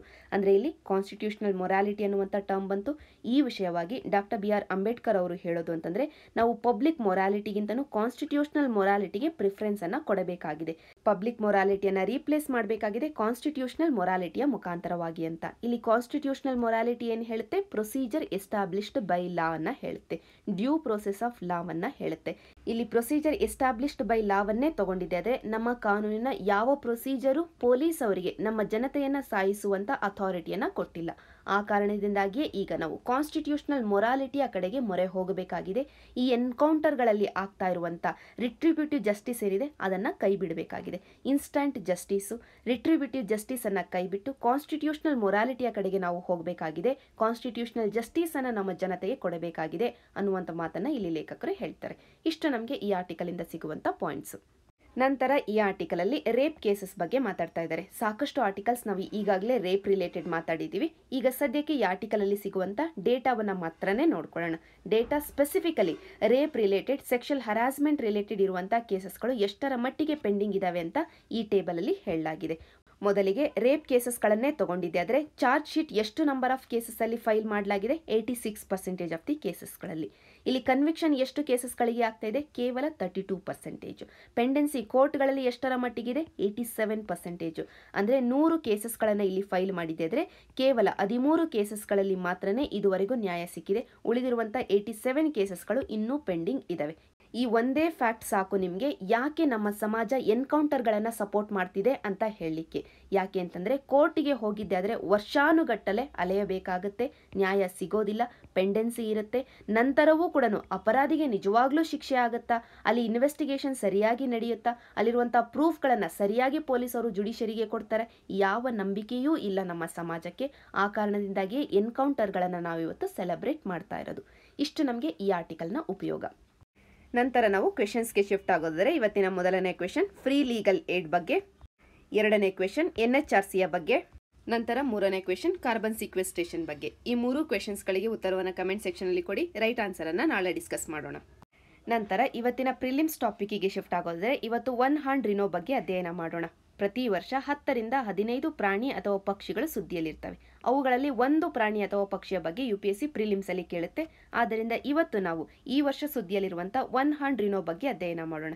ಇದು ಐ ಯು ಸಿ ಎನ್ ಅಡಿಯಲ್ಲಿ ವಲ್ನರಬಲ್ ಸ್ಟೇಟಸ್ ಅನ್ನು ಹೊಂದಿರುವಂಥ ಪ್ರಾಣಿಯಾಗಿದೆ. ನಮ್ಮಲ್ಲಿರುವಂಥ ವೈಲ್ಡ್ ಲೈಫ್ ಪ್ರೊಟೆಕ್ಷನ್ ಆಕ್ಟ್ ಅಡಿಯಲ್ಲಿ ಶೆಡ್ಯೂಲ್ ಒನ್ ಅಡಿಯಲ್ಲಿ ನಾವು ಇದನ್ನು ಸಂರಕ್ಷಣೆ ಮಾಡ್ತಾ ಇದ್ದೀವಿ ಗ್ರೇಟ್ ಒನ್ ಹ್ಯಾಂಡ್ ರಿನೋ ಅಥವಾ ಇಂಡಿಯನ್ ರಿನೋ ಅಂತ ನಾವು ಕರಿತೀವಿ. ಈ ಪ್ರಾಣಿಗೆ ಇರುವಂಥ ಥ್ರೆಡ್ಸ್ ಅಂತಂದರೆ ಮೊದಲನೆಯದಾಗಿ ಪೌಚಿಂಗು ಸ್ಪೆಷಲಿ ಈ ಪ್ರಾಣಿಯ ಹಾರ್ನ್ಗೆ ಅಂತಲೇ ಸಾಕಷ್ಟು ಪೌಚಿಂಗನ್ನು ಮಾಡ್ತಾರೆ. ನಂತರ ಎರಡನೇ ಥ್ರೆಟ್ ಅಂತಂದರೆ ಹ್ಯಾಬಿಟ್ಯಾಟ್ ಡಿಸ್ಟ್ರಕ್ಷನ್ನು ಈ ಪ್ರಾಣಿ ಇರುವಂಥ ವಾಸಸ್ಥಳ ಏನಿದೆ, ಇದನ್ನೇ ನಾವು ಡಿಸ್ಟ್ರಕ್ಷನ್ ಮಾಡ್ತಾ ಇದ್ದೀವಿ. ಈ ಪ್ರಾಣಿ ವಾಸಿಸ್ತಿರುವಂಥ ಕಾಡುಗಳನ್ನು ಈಗ ಅಗ್ರಿಕಲ್ಚರ್ಗೋಸ್ಕರ ಅರ್ಬನೈಸೇಷನ್ಗೋಸ್ಕರ ಯೂಸ್ ಮಾಡ್ಕೊಳ್ತಾ ಇದ್ದೀವಿ. ಆದ್ದರಿಂದ ಹ್ಯಾಬಿಟ್ಯಾಟ್ ಡಿಸ್ಟ್ರಕ್ಷನ್ ಅನ್ನೋದು one of the major threat ಆಗಿದೆ. ನಂತರ ಫ್ಲಡ್ಡಿಂಗ್ ಇಂದಾಗಿ ಈ ಪ್ರಾಣಿಗೆ ಥ್ರೆಟ್ ಆಗ್ತಾ ಇದೆ. For example Kaziranga national park ಈ ನ್ಯಾಷನಲ್ ಪಾರ್ಕು ಬ್ರಹ್ಮಪುತ್ರ ನದಿಯ ಪಕ್ಕದಲ್ಲೇ ಇದೆ. ಇದರ ದಡದಲ್ಲೇ ಇದೆ. ಬ್ರಹ್ಮಪುತ್ರ ನದಿ ಪ್ರತಿ ವರ್ಷ ಪ್ರವಾಹವನ್ನು ಮಾಡುತ್ತೆ. ಈ ಪ್ರವಾಹದ ಸಂದರ್ಭದಲ್ಲಿ ಈ ಕಾಜಿರಂಗ ನ್ಯಾಷನಲ್ ಪಾರ್ಕಿಗೆ ಹರಿದು ಬರುವಂಥ ಈ ನೀರಿನಿಂದ ಸಾಕಷ್ಟು ರಿನೋಗಳು ಸಾವನ್ನು ಅಪ್ತವೆ.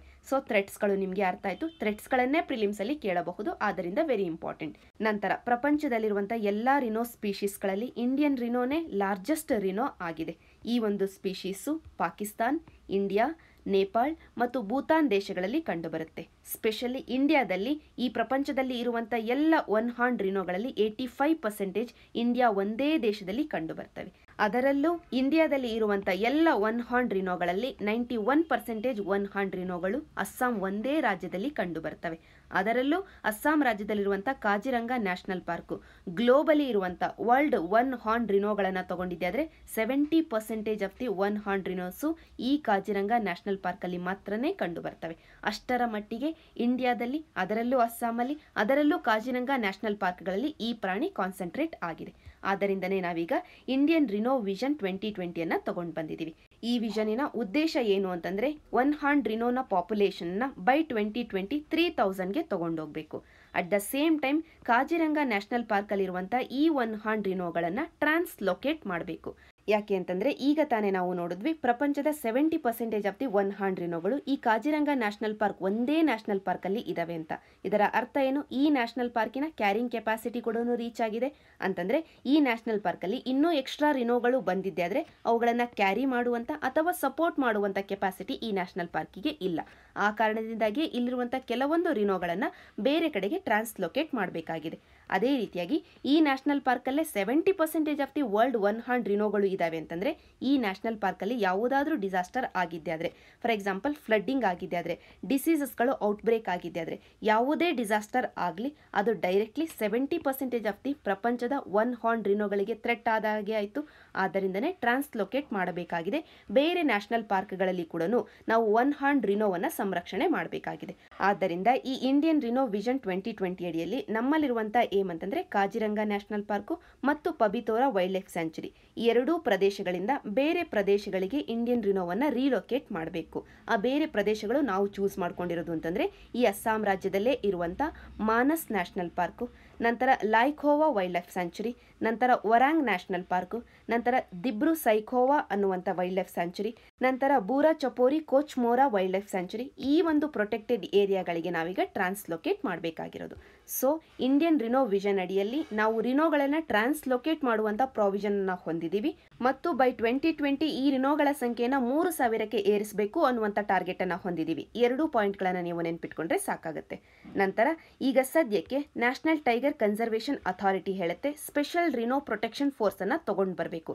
ಇದರ ಮುಖಾಂತರವಾಗಿ ರಿನೋಗಳ ಪೌಚಿಂಗ್ ಅಂತ ಏನಾಗ್ತಾ ಇದೆ, ಇದನ್ನು ತಡೆಗಟ್ಟಬಹುದು ಅನ್ನುವಂಥ ರೆಕಮೆಂಡೇಷನ್ಸನ್ನು national tiger conservation authority Assam ರಾಜ್ಯಕ್ಕೆ ಕೊಟ್ಟಿತ್ತು.